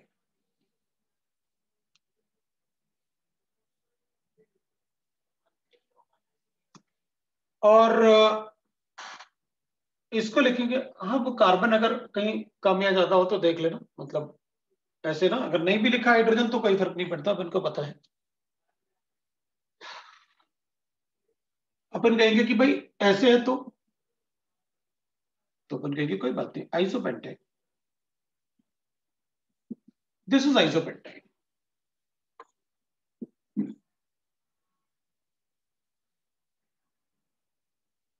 इसको अगर अपन लिखेंगे तो that will be secondary pentyl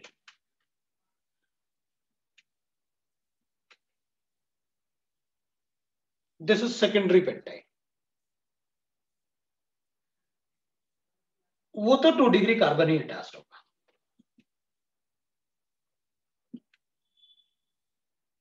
तो फिर tertiary pentyl this is tertiary pentyl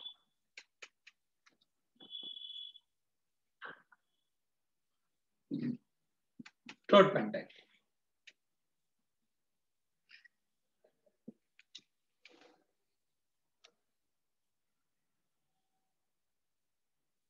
Secondary pentyl isopentyl tertiary pentyl और नियो पेंटाइल तो अपन को पता ही है।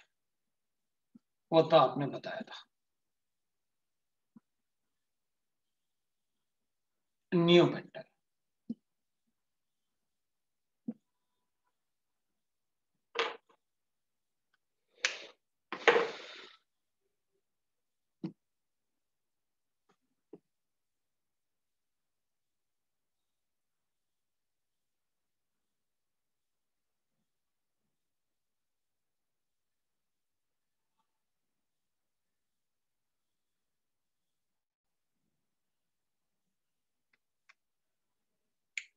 ये ग्रुप्स है जो iso neo secondary tertiary iso butyl normal butyl, ये सब जो वर्ड यूज़ होंगे दैट इज़ दैट सब में आपको अच्छे से कंपैरिजन दिख रहा है।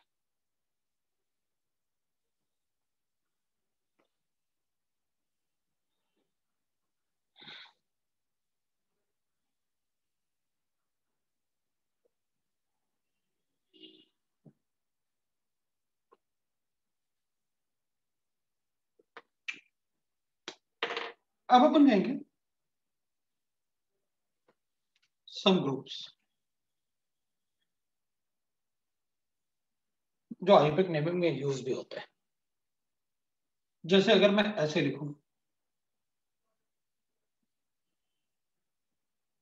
तो अपन कहेंगे, अभी तो बताया था आपने, ये इथिनाइल है ethenyl C H two double bond C H ये इथिन होता है। एक हाइड्रोजन रिमूव करो तो आपने कहा था इथेनाइल होता है।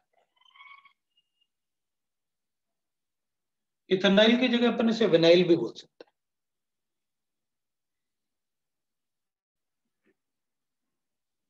ये यूज़ होता है इसके लिए विनाइल ग्रुप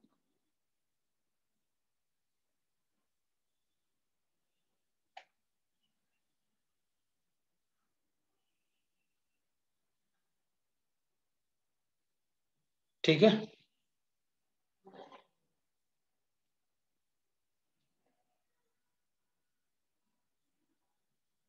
और अगर ऐसे है। तो this is called allyl group इसको अपन कहेंगे allyl group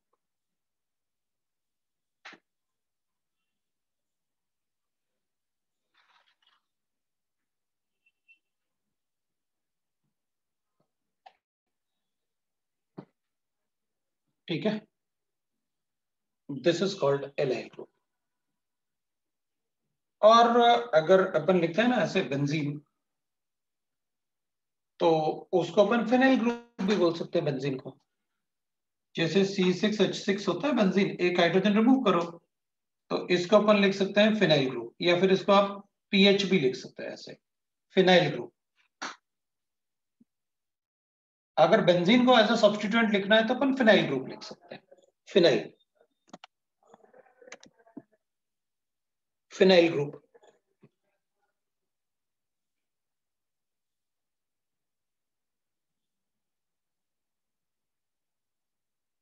This is called phenyl group.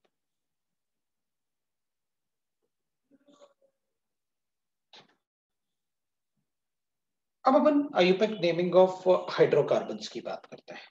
What is we have to follow in the IUPAC naming of hydrocarbons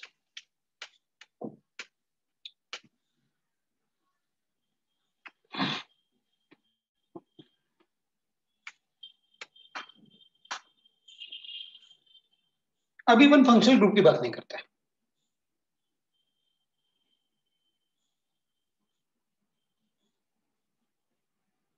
of hydrocarbon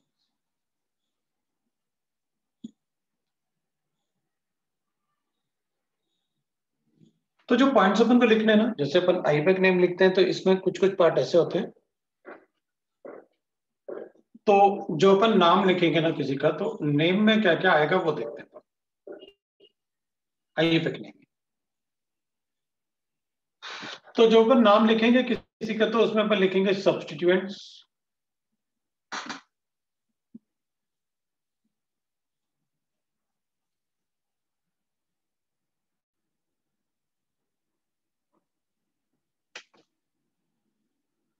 ऐसे लिखते हैं नेम इक्वल टू उससे फ़र्क नहीं पड़ेगा। पहले अपन लिखेंगे substituent in alphabetical order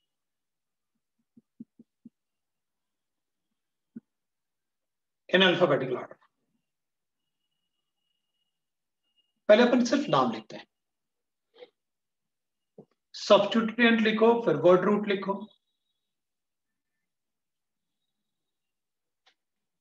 फिर आप सेकेंडरी सफिक्स लिखो।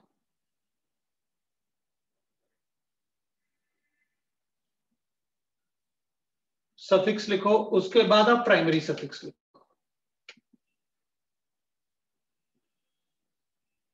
ये आईपेक नहीं होता है।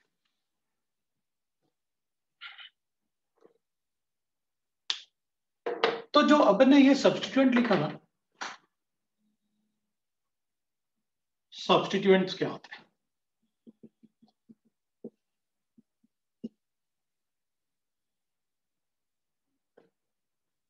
The group or atom, which are not in the which are not included in the main carbon chain carbon chain of word root that is called carbon skeleton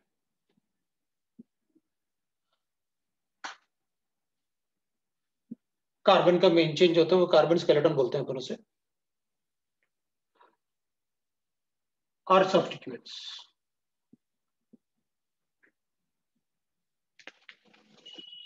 These are always written before the, these are always written before word root.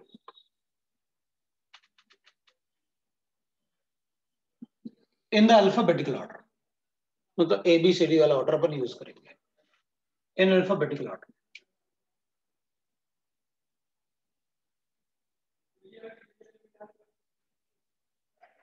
alphabetical order.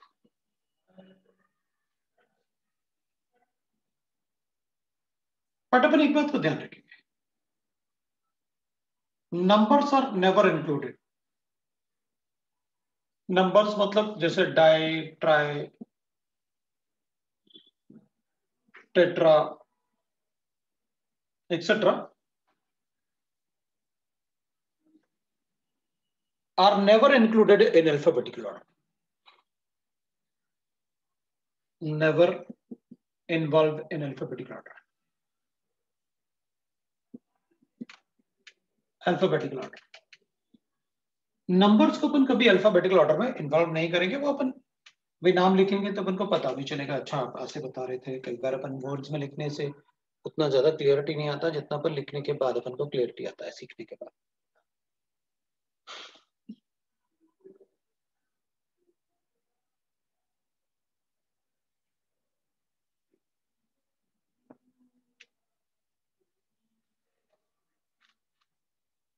substituent are the groups or atom which are not included to the main chain ना are not लिखा होना चाहिए ना मैंने not ही बोला होगा but लिखा नहीं not included in the carbon chain of the word root are substituents ठीक है these are always written before the word root in alphabetical order numbers को अपन कभी alphabetical order में count नहीं करेंगे but iso and neo includes in alphabetical order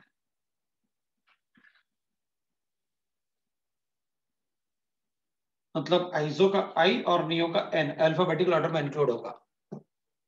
अगर आप आइजो ब्यूटेन लिखोगे तो आई इंक्लूड करूँगा बी नहीं करूँगा butane.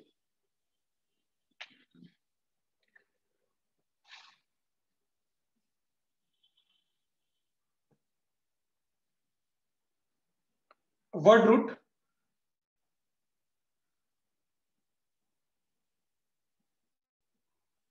is the number of carbon atom in the main carbon chain. Carbon chain.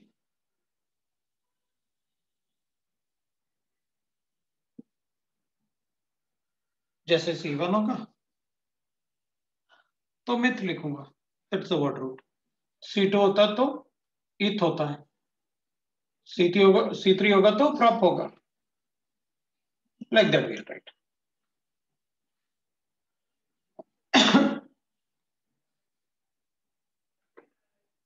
Next we can write. Secondary suffix are three only. Secondary suffix written just after the word root. वो तो लिखा ही हुआ है किसके बाद किसको लिखना है सबसे पहले कौन फिर कौन तो सेकेंडरी सफिक्स जो होगा ना आर in, in एंड आइंस मतलब मुझे ये चेक करना पड़ेगा कि अगर कार्बन स्केलेटल में डबल बॉन्ड है तो वो एल्कीन होगा ट्रिपल बॉन्ड है तो एल्काइन होगा। अगर डबल बॉन्ड या ट्रिपल बॉन्ड नहीं है तो मैं प्रोपेन ब्यूटेन मतलब एन लिखूँगा फिर और प्राइमरी सफिक्स जो होता है वो फंक्शनल ग्रुप्स होते हैं। वैसे तो भी अपन हाइड्रोकार्बन पढ़ेंगे तो फंक्शनल ग्रुप लिखने की ज़रूरत ही नहीं है। There will be no primary suffix primary suffix is the senior most functional group मतलब फंक्शनल ग्रुप में भी सीनियरिटी आने वाली है। सीनियर मोस्ट फंक्शनल ग्रुप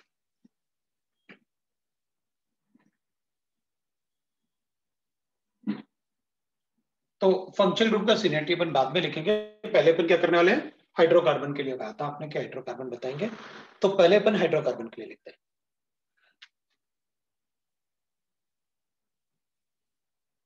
ठीक है? तो चलो हाइड्रोकार्बन की बात करते हैं। आइयोपेक नेमिंग ऑफ़ हाइड्रोकार्बन ये वर्ड्स ये लिखा हुआ है आपके पास। अब इससे ही अपन पहले लिखेंगे। तो अपन क्या कहेंगे? पॉइंट वन लिखते हैं आईएफएक नेमिंग के लिए। Alkanes always follow longest chain rule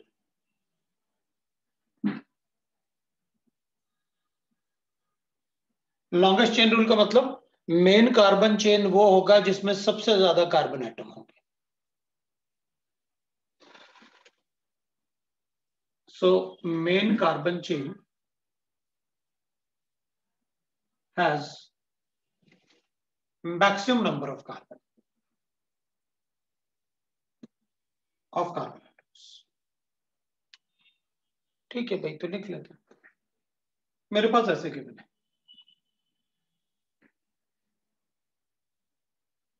तो फिर कहेंगे मैं ऐसे नंबरिंग कर लूँगा। इसमें पाँच कार्बन आएँगे, इधर चार कार्बन एटम है, इधर भी चार कार्बन एटम है, इसमें पाँच कार्बन एटम होंगे, इसलिए यही हमारा कार्बन चेन है।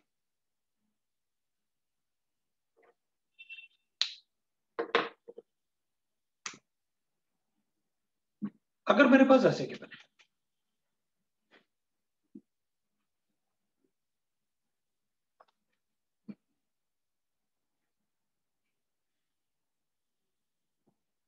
तो फिर अपन कहेंगे, भाई, इधर से, इधर सबसे बड़ा चेन दिख रहा है मुझे। तो मैं वही कार्बन चेन को चूज़ करूँगा। One two three four five six seven one two three four five six तो सेवन वाले को इंक्लूड करूँगा। This is my main chain ये मेन चेन है। मेन चेन वो होगा जिसमें सबसे ज़्यादा कार्बन आइटम्स होंगे।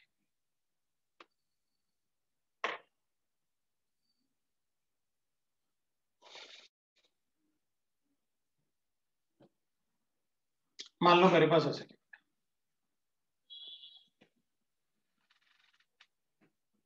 मैंने यहाँ पर ऐसे लिखा हूँ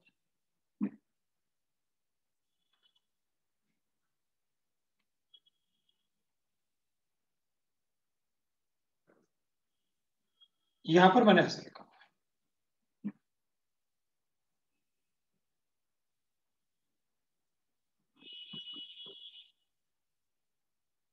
तो भी मेरा मेन चाहिए जाएगा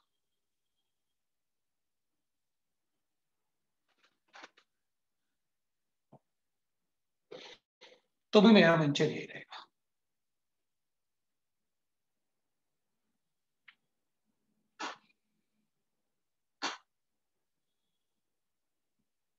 ऐसे भी लिखता क्योंकि यहाँ पर जितना कार्बन एटम आ रहा है, उतना ना तो यहाँ पर आ रहा है और ना ही यहाँ पर आ रहा है।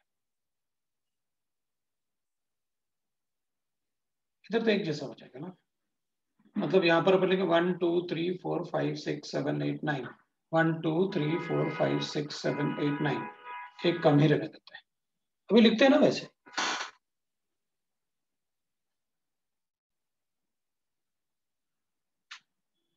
ठीक है। तो मैक्सिम आ रहा है अपने पास। That is one two three four ऐसे लिखेंगे अपन। तो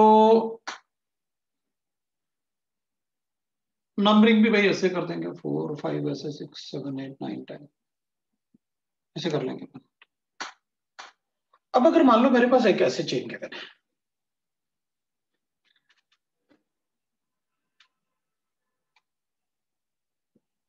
एक ऐसे के है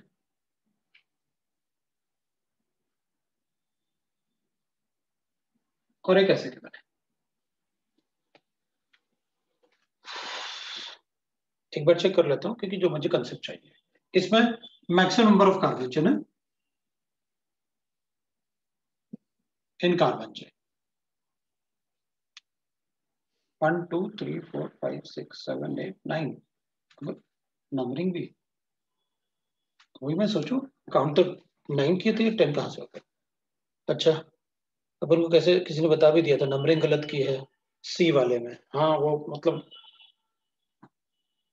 पहले पढ़ता नहीं था ना मैं तो वन टू थ्री फोर याद नहीं रखता। चलो ठीक है।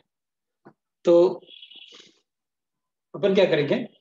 अब ना मैं एक क्वेश्चन चाहता था जिसमें एक से ज़्यादा चेन में एक जैसा कार्बन आए तो क्या करेंगे? चलो देखते हैं अपन, है? चलो, पहले चेक करते हैं one two three four five six seven eight nine one two three four five six seven eight nine दोनों में आ रहा है। अब मज़ा आ गया। अब किसको चूज़ करेंगे? तो अपन क्या करेंगे? If the number of carbon atom. If more than one chain has same number of maximum carbon atom, जो मैक्सिमम आप क्या करोगे भाई इधर तो अपन ने इरेस्पेक्टिव बाकी मुझे कोई फ़र्क नहीं पड़ता मुझे पहले लॉन्गेस्ट चेन चाहिए इसमें तो दो आ रहे हैं, जिसमें नाइन है। अब क्या करोगे? तो अपन क्या करेंगे? Then the main chain is that main chain is that which has maximum number of substituents फिर तो अपन मैक्सिमम नंबर ऑफ़ सब्सटेंट से चेक करेंगे, जिसमें सब्सटेंट ज़्यादा है, वही अपना मेन चेन है। तो चलो, कोई बात नहीं, उससे चेक कर लेंगे।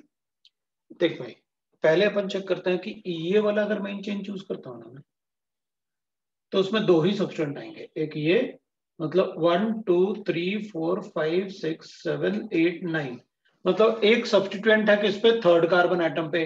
और एक है किस पे? सिक्स कार्बन एटम पे। बस दो आएँगे। लेकिन अगर मैं ऐसे चूज़ करता हूँ, इसको अगर मैं ऐसे चूज़ करता हूँ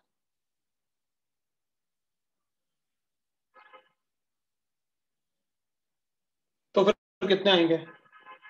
एक ये आएगा, एक, दो, तीन, चार, पाँच सब्सटीट्यूएंट आएँगे इसमें तो। पाँच। भाई जो मेन चेन वाले कार्बन से जो भी चीज़ें अटैच है, वो सब सब्सटीट्यूएंट में आएँगे। ये तो लिखा था आपने सब्सटीट्यूएंट जो मेन चेन में इंक्लूड नहीं होता, लेकिन वो मेन चेन से अटैच होते हैं। उन्हीं को अपन सब्सटीट्यूएंट कहते हैं। तो यहाँ पर एक सब्सटीट्यूएंट ये आता, एक सब्सटीट्यूएंट ये आता, एक सब्सटीट्यूएंट ये आएगा, एक ये आएगा और एक ये आएगा। कितने सारे सब्सटीट्यूएंट आए? पाँच सब्सटीट्यूएंट आए। मतलब वही हमारा मेन चेन होगा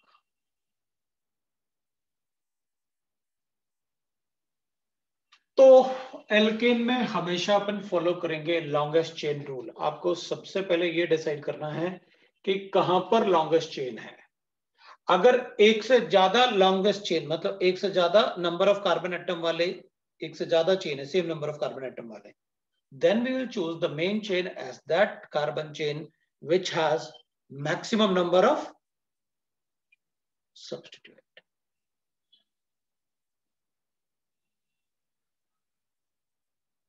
ठीक है? चलो ठीक है, मुझे ये तो समझ में आया, करना क्या है? अब एक दूसरा रूल होता है। रूल नंबर टू इसको कहते हैं lowest sum rule lowest sum rule का मतलब होता है, उन कार्बन के नंबर को ऐड कर दो जिन पे सब्सटीट्यूएंट प्रेजेंट है। Add the number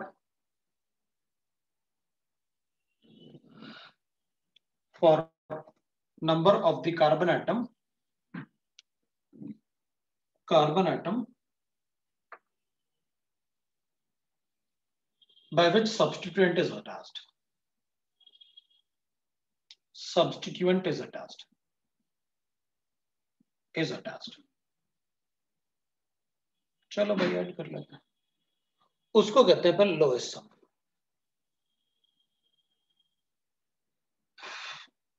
ठीक है ना so the side from which we get the lowest number the side from which we get a lowest sum is the correct numbering.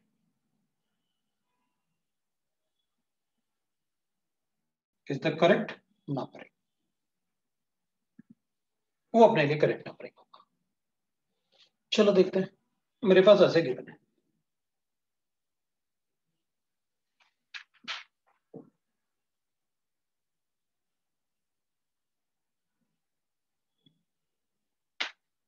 तो एक बार मैं इसको यहाँ से नंबर कर देता हूँ। One two three four five six ये तो लॉन्गेस्ट चेन है। तो उसको नंबर करना ही था। अगर मैं यहाँ से नंबर करूँगा तो एक सब्सटीट्यूएंट यहाँ प्रेजेंट होगा जो मेरा कार्बन चेन में नहीं आया मेन चेन में नहीं आया।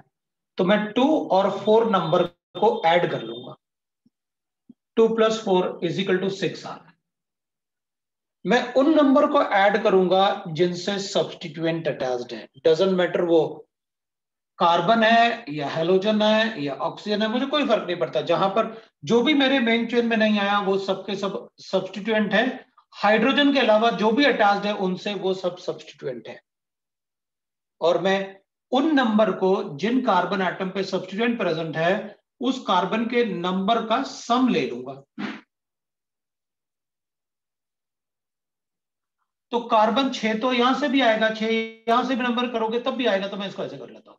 One dash, two dash, three dash, four dash, five dash और ये सिक्स डैश। अगर मैं उधर से नंबरिंग करूँगा तो मैं कहा? थ्री को ऐड करूँगा और फाइव को ऐड करूँगा। तो यहाँ से मेरे पास आएगा three dash plus five dash that is equal to eight तो मैं कहूँगा भाई, ये वाला नंबरिंग करेक्ट नहीं है। ये वाला करेक्ट नंबरिंग है, क्योंकि उससे लोएस्ट सम आ रहा है that is what I mean by the lowest sum अब इसमें तो अपन कहते हैं भाई लोएस्ट सम का कोई मतलब ही नहीं है। एक ही सब्सटीट्यूएंट है। तो उसके लिए अपन कहते हैं लोएस्ट लोकेंट रूल पढ़ो फिर। ये तो लोएस्ट सम रूल था, ठीक है भाई, मान गया। अब एक होता है लोएस्ट लोकेंट रूल ठीक है। अब अपन नाम इसलिए नहीं लिख रहे ना, एक बार नंबरिंग तो समझ लें कि कैसे नंबरिंग करना है। उसके बाद नाम तो लिख ही लेंगे। जिसको नंबरिंग आ गया ना, उसको नाम लिखना बहुत आसान होता है। नाम लिखना तो बहुत आसान होता है। नंबरिंग करना मुश्किल थोड़ा सा होता है। उसको अपन लिखेंगे third rule that is called lowest locant rule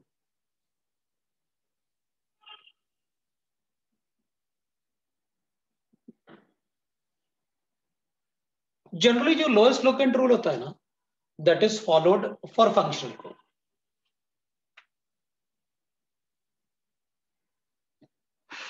generally This rule is used when functional groups are present. Are present. जब फंक्शनल ग्रुप बहुत इंपॉर्टेंस होता है इतना ज़्यादा इंपॉर्टेंस की इसके लिए इसको वायलेट कर सकते हैं। तो फंक्शनल ग्रुप आएगा तो बहुत ज़्यादा चेंज थोड़े थोड़े से चेंजेस करेंगे। बहुत ज़्यादा नहीं, थोड़े से चेंजेस करेंगे। लेकिन लोएस्ट लोकेंट रूल का मतलब है, आप नंबरिंग उस तरफ़ से शुरू करो जहाँ से आपको लोएस्ट सम मिले। और lowest number for the first locant जैसे अपने अपने पास ऐसे गिवन था।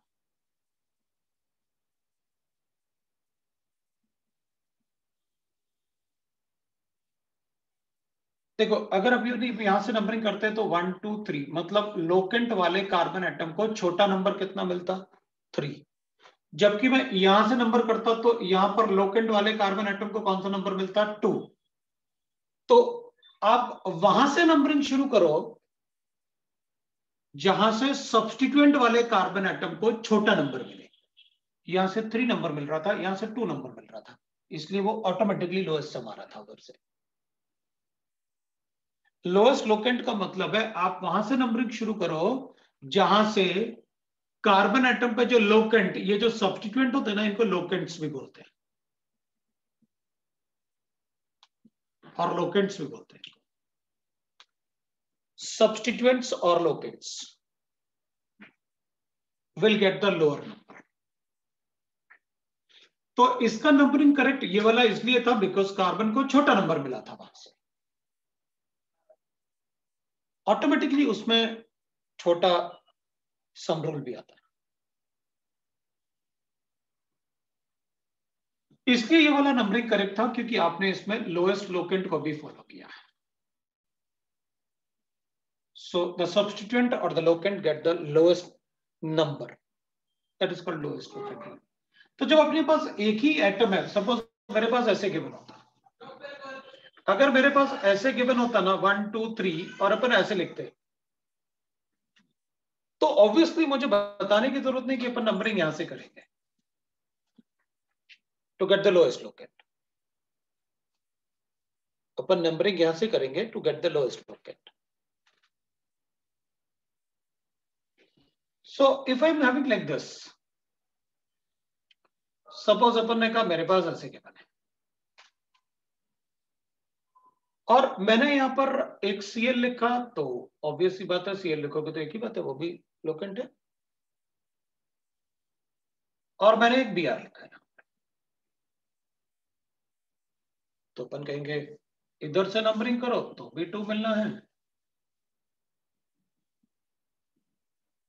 और इधर से नंबरिंग करो तो भी टू मिलेगा। तो फिर करेक्ट कौन सा होगा।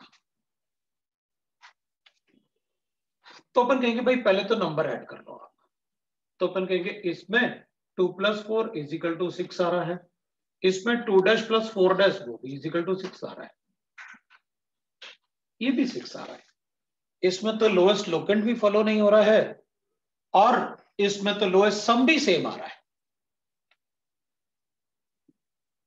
फिर which will be the correct numbering दोनों ही सही मान लेते हैं या फिर कोई एक ही सही होगा?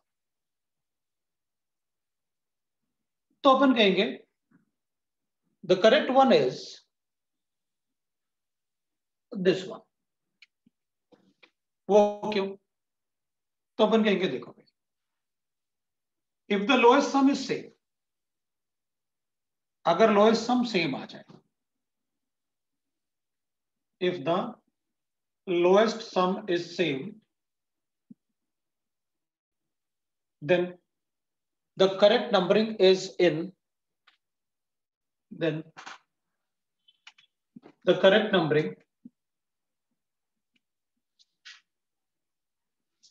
is in alphabetical order.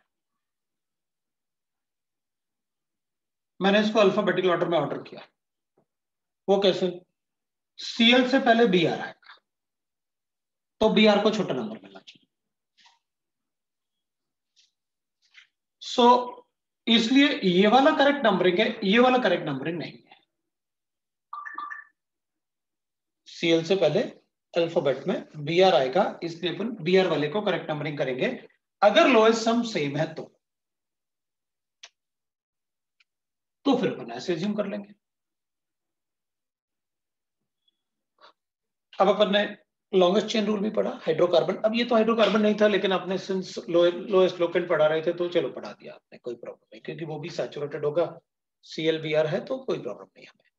But वो भी सैचुरेटेड है, उसमें हाइड्रोकार्बन नहीं था, लेकिन अब एल्केल बी और आईसीएल आ गया तो सिर्फ़ हाइड्रोजन कार्बन वाला ही हाइड्रोकार्बन होता है। तो अपन ने एक इंक्लूड कर लिया कि भाई ठीक है, मेरे पास उसकी जगह ऐसे होता, तब भी मैं वही करता। मुझे लगा, इसको लिखता तो थोड़ा अपन को लगता कि यार मतलब ठीक है, कैसे क्या करना है। इसमें अगर आप चेक करोगे तो लॉन्गेस्ट चेन यही रहेगा। नंबरिंग में अगर मैं one two three four five six seven लिखता तो यहाँ पर जो लोएस्ट सम आता, मेरे पास थ्री प्लस फाइव आता, वो एट होता। यहाँ से नंबरिंग करता हूँ one dash two dash three dash four dash five dash six dash seven dash यहाँ पर भी मेरे पास three dash plus five dash आता, और ये भी एट होता।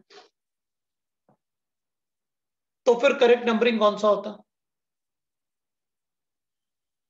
तो अपन कहते हैं फंक्शनल ग्रुप मतलब अभी कौन है वहाँ पर? फंक्शनल ग्रुप भाई बताया नहीं फंक्शनल ग्रुप तो रुक तो जाओ। एफ़ जी मीन्स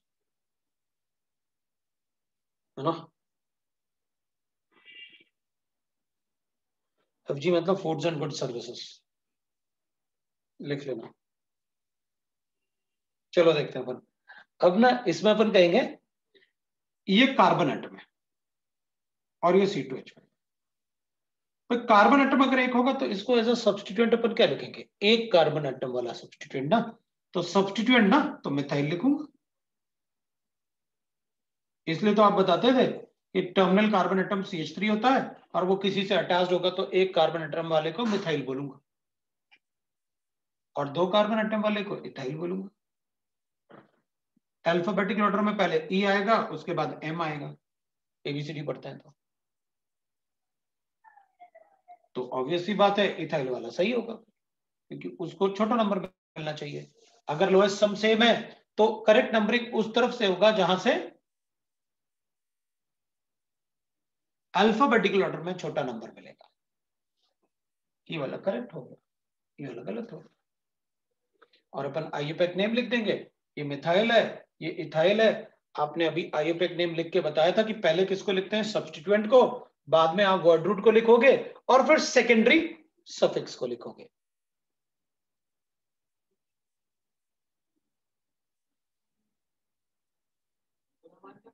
ठीक है? तो अपन क्या करेंगे? इसका आईयूपेक नेम लिखेंगे। आईयूपेक नेम लिखेंगे इसका तो अपन कहाँ से लिखेंगे शुरू? यहाँ से शुरू करेंगे इथाइल ग्रुप से। तो करेक्ट नंबरिंग ये वाला था। मतलब इस वाले नंबरिंग को भूल जाओ। तो पहले इथाइल लिखो और फिर मिथाइल लिखो। जो भी आप सब्सटीट्यूएंट लिखोगे, उनको नंबर देना पड़ेगा कार्बन में कहा लिखा हुआ है। तो मैं लिखूँगा three ethyl third carbon atom पे इथाइल ग्रुप है।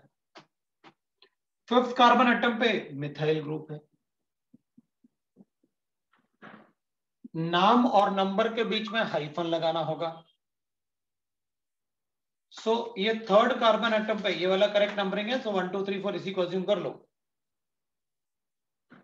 थर्ड कार्बन एटम पे इथाइल ग्रुप है फिफ्थ कार्बन एटम पे मिथाइल ग्रुप है और टोटल कार्बन एटम अपने पास कितने हैं? दैट इज़ सेवन सो मैं लिखूँगा hex that is a word root इसमें कोई डबल बॉन्ड है कहीं कोई बॉन्ड नहीं है।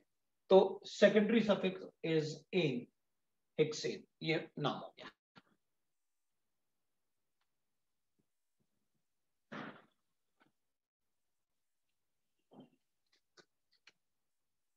तो अगर इसका नाम लिखना है तो बी वाले का इसका ए वाले का तो अपन कहेंगे ठीक है ये करेक्ट नंबरिंग था अपने पास। तो लिख देंगे भाई इधर क्या लिखे ये भी मिथाइल है ये भी मिथाइल है। अब अल्फाबेटिकल ऑर्डर में क्या दोनों सेम है तो दो, दो बार लिख देते हैं अपन। क्या लिखा अपन ने? सेवन था अब टेन लिख देते हैं। लो लिख दिया। राइट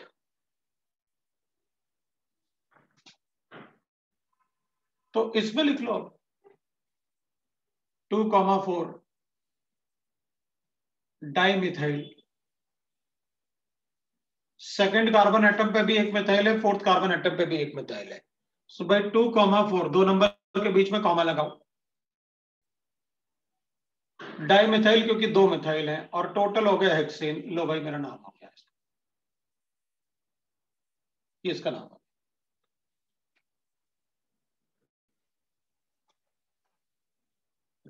इसके लिए लिख देते हैं। टू मेथाइल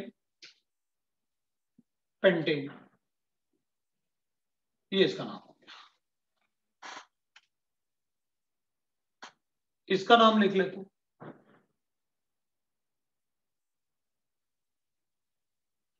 इसमें सीएल था, एक बीआर था और एक और सी था। नंबरिंग यहाँ से करनी थी, क्योंकि लोएस्ट सम सेम आ रहा था तो हमने अल्फाबेटिकल ऑर्डर में नंबरिंग कर लिया।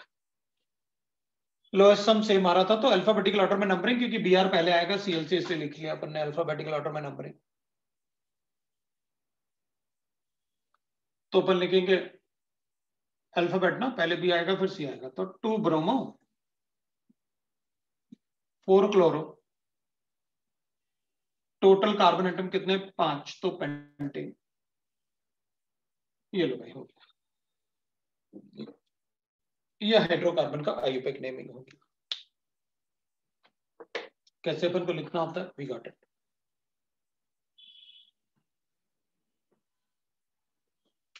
अब अगर मान लो अपने पास ऐसे के बने।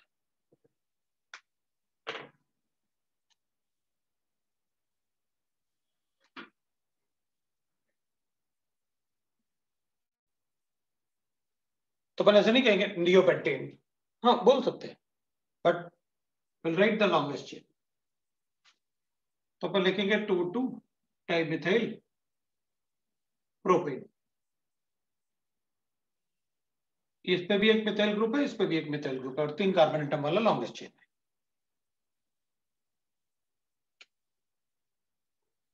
तो अगर ऐसे है तो? अपन कहेंगे यही तो लिखा है। तो इसका मतलब यह है कि बीच में कार्बन है एक सी थ्री एक सी थ्री एक सी थ्री तो ऐसे लिख दो, या ऐसे लिख दो, हमें क्या फ़र्क पड़ेगा? एक ही बात है। तो अपन कहेंगे अच्छा ऐसे लिख देता अब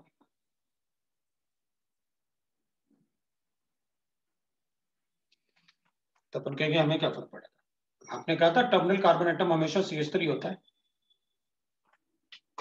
लिख दिया। किसी भी कार्बन का वैलेंसी चार से ज़्यादा नहीं हो सकता मतलब यहाँ पर एक बीच में कार्बन होगा। और ये वाले कार्बन जो है, जहाँ बॉन्ड बेंड होता है, वहाँ एक कार्बन होता है तो यहाँ पर बेंड हो रहा है तो यहाँ कार्बन होगा और इसके पास दो हाइड्रोजन होंगे। क्योंकि दो वैलेंसी तो कंप्लीट है ना तो दो हाइड्रोजन हो सकते हैं इसके पास। तो चलो लॉन्गेस्ट चेन ढूंढते हैं। तो लॉन्गेस्ट चेन क्या वो तो एक जैसा ही चेन है, किसी को भी लिख लो। वन टू थ्री फोर और फाइव यहाँ से भी करोगे तो भी फाइव है, यहाँ से भी लिखो तो भी फाइव है, यहाँ से ऐसे लिखो तो भी फाइव है, सब फाइव है। फाइव से ज़्यादा हो ही नहीं सकता। तो फिर थर्ड कार्बन एटम पे दो इथाइल ग्रुप बना लो आप सी टू एच फाइव वाले C H two C H three that is ethyl group दो कार्बन एटम वाला सब्सटीट्यूएंट तो लिख देते हैं। Three three di ethyl pentane लो भाई, हो गया। तो अपन कहेंगे, ऐसे लिखे तो? अपन कहेंगे, लिखा तो है? ये और ये क्या डिफरेंस है भाई। वन हो गया टू हो गया थ्री हो गया, दो मिथाइल ग्रुप हो गया।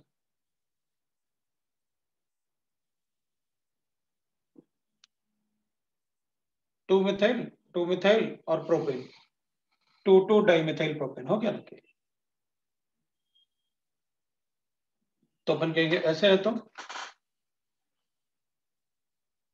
तो कुछ भी लिखो मैं क्या फ़र्क पड़ेगा। One two three four five पाँच कार्बन एटम कोई सब्सटीट्यूएंट नहीं है तो हो गया पेंटेन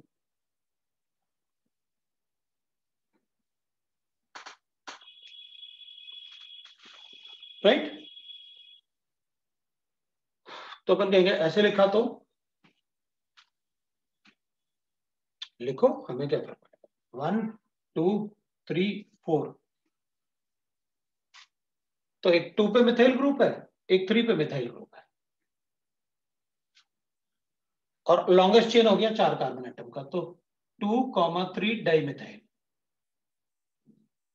butane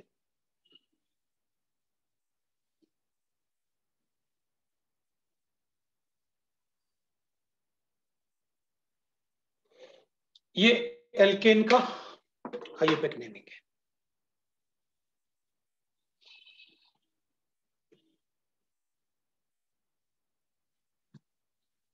आज बस हो गया।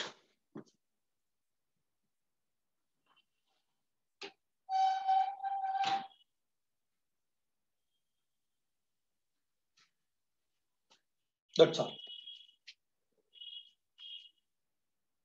Next class फिर डिसाइड करेंगे अपन उसी का। उसी का क्लास ऐसे थोड़ा सा अभी एक आध वीक ऐसे चलेगा एक्स्ट्रा क्लास में, फिर उसके बाद अपन रेगुलर क्लासेस कर लेंगे पैरेलल में। वीक में चार क्लास कर लेंगे, दो ऑर्गेनिक दो फ़िज़िकल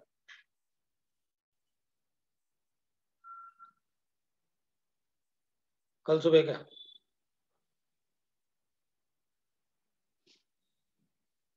एवरी ट्यूसडे नहीं नहीं, ज़्यादा बढ़ा लेंगे फिर नहीं नहीं उसी क्लास कल सुबह नहीं हो सकती। भैया, आज सुबह ना, सुबह सात बजे से ना मतलब खाना भी नहीं खा पाया। कंटिन्यूसली क्लास चल रहा है।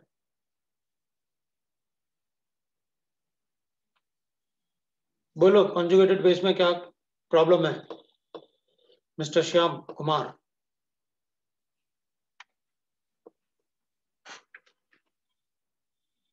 मेरी मर्ज़ी, मैं तो कैसे भी लिख सकता ये बना ले। ये एक इथाइल ग्रुप है, ये एक इथाइल ग्रुप है। Three three di ethyl pentane वो ज़रूरी थोड़ी ऐसे ही लिखो। तो मैंने लिख के दिया कंफ्यूज करने के लिए मेरी मर्ज़ी, मैं एच लिखूं एबीसीडी पूरा ही लिखूँगा मैं तो जेड तक।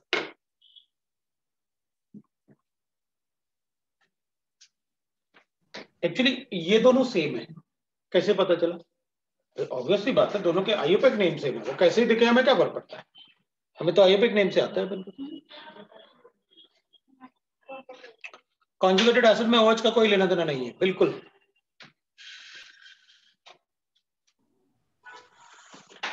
चल बोलो जल्दी बोलो। सर एक एग्जांपल में आपने दिया था right conjugated acid of the following bases उसमें सब में ओएच निकाल के सर आपने दिया था आंसर क्वेश्चन बोलो।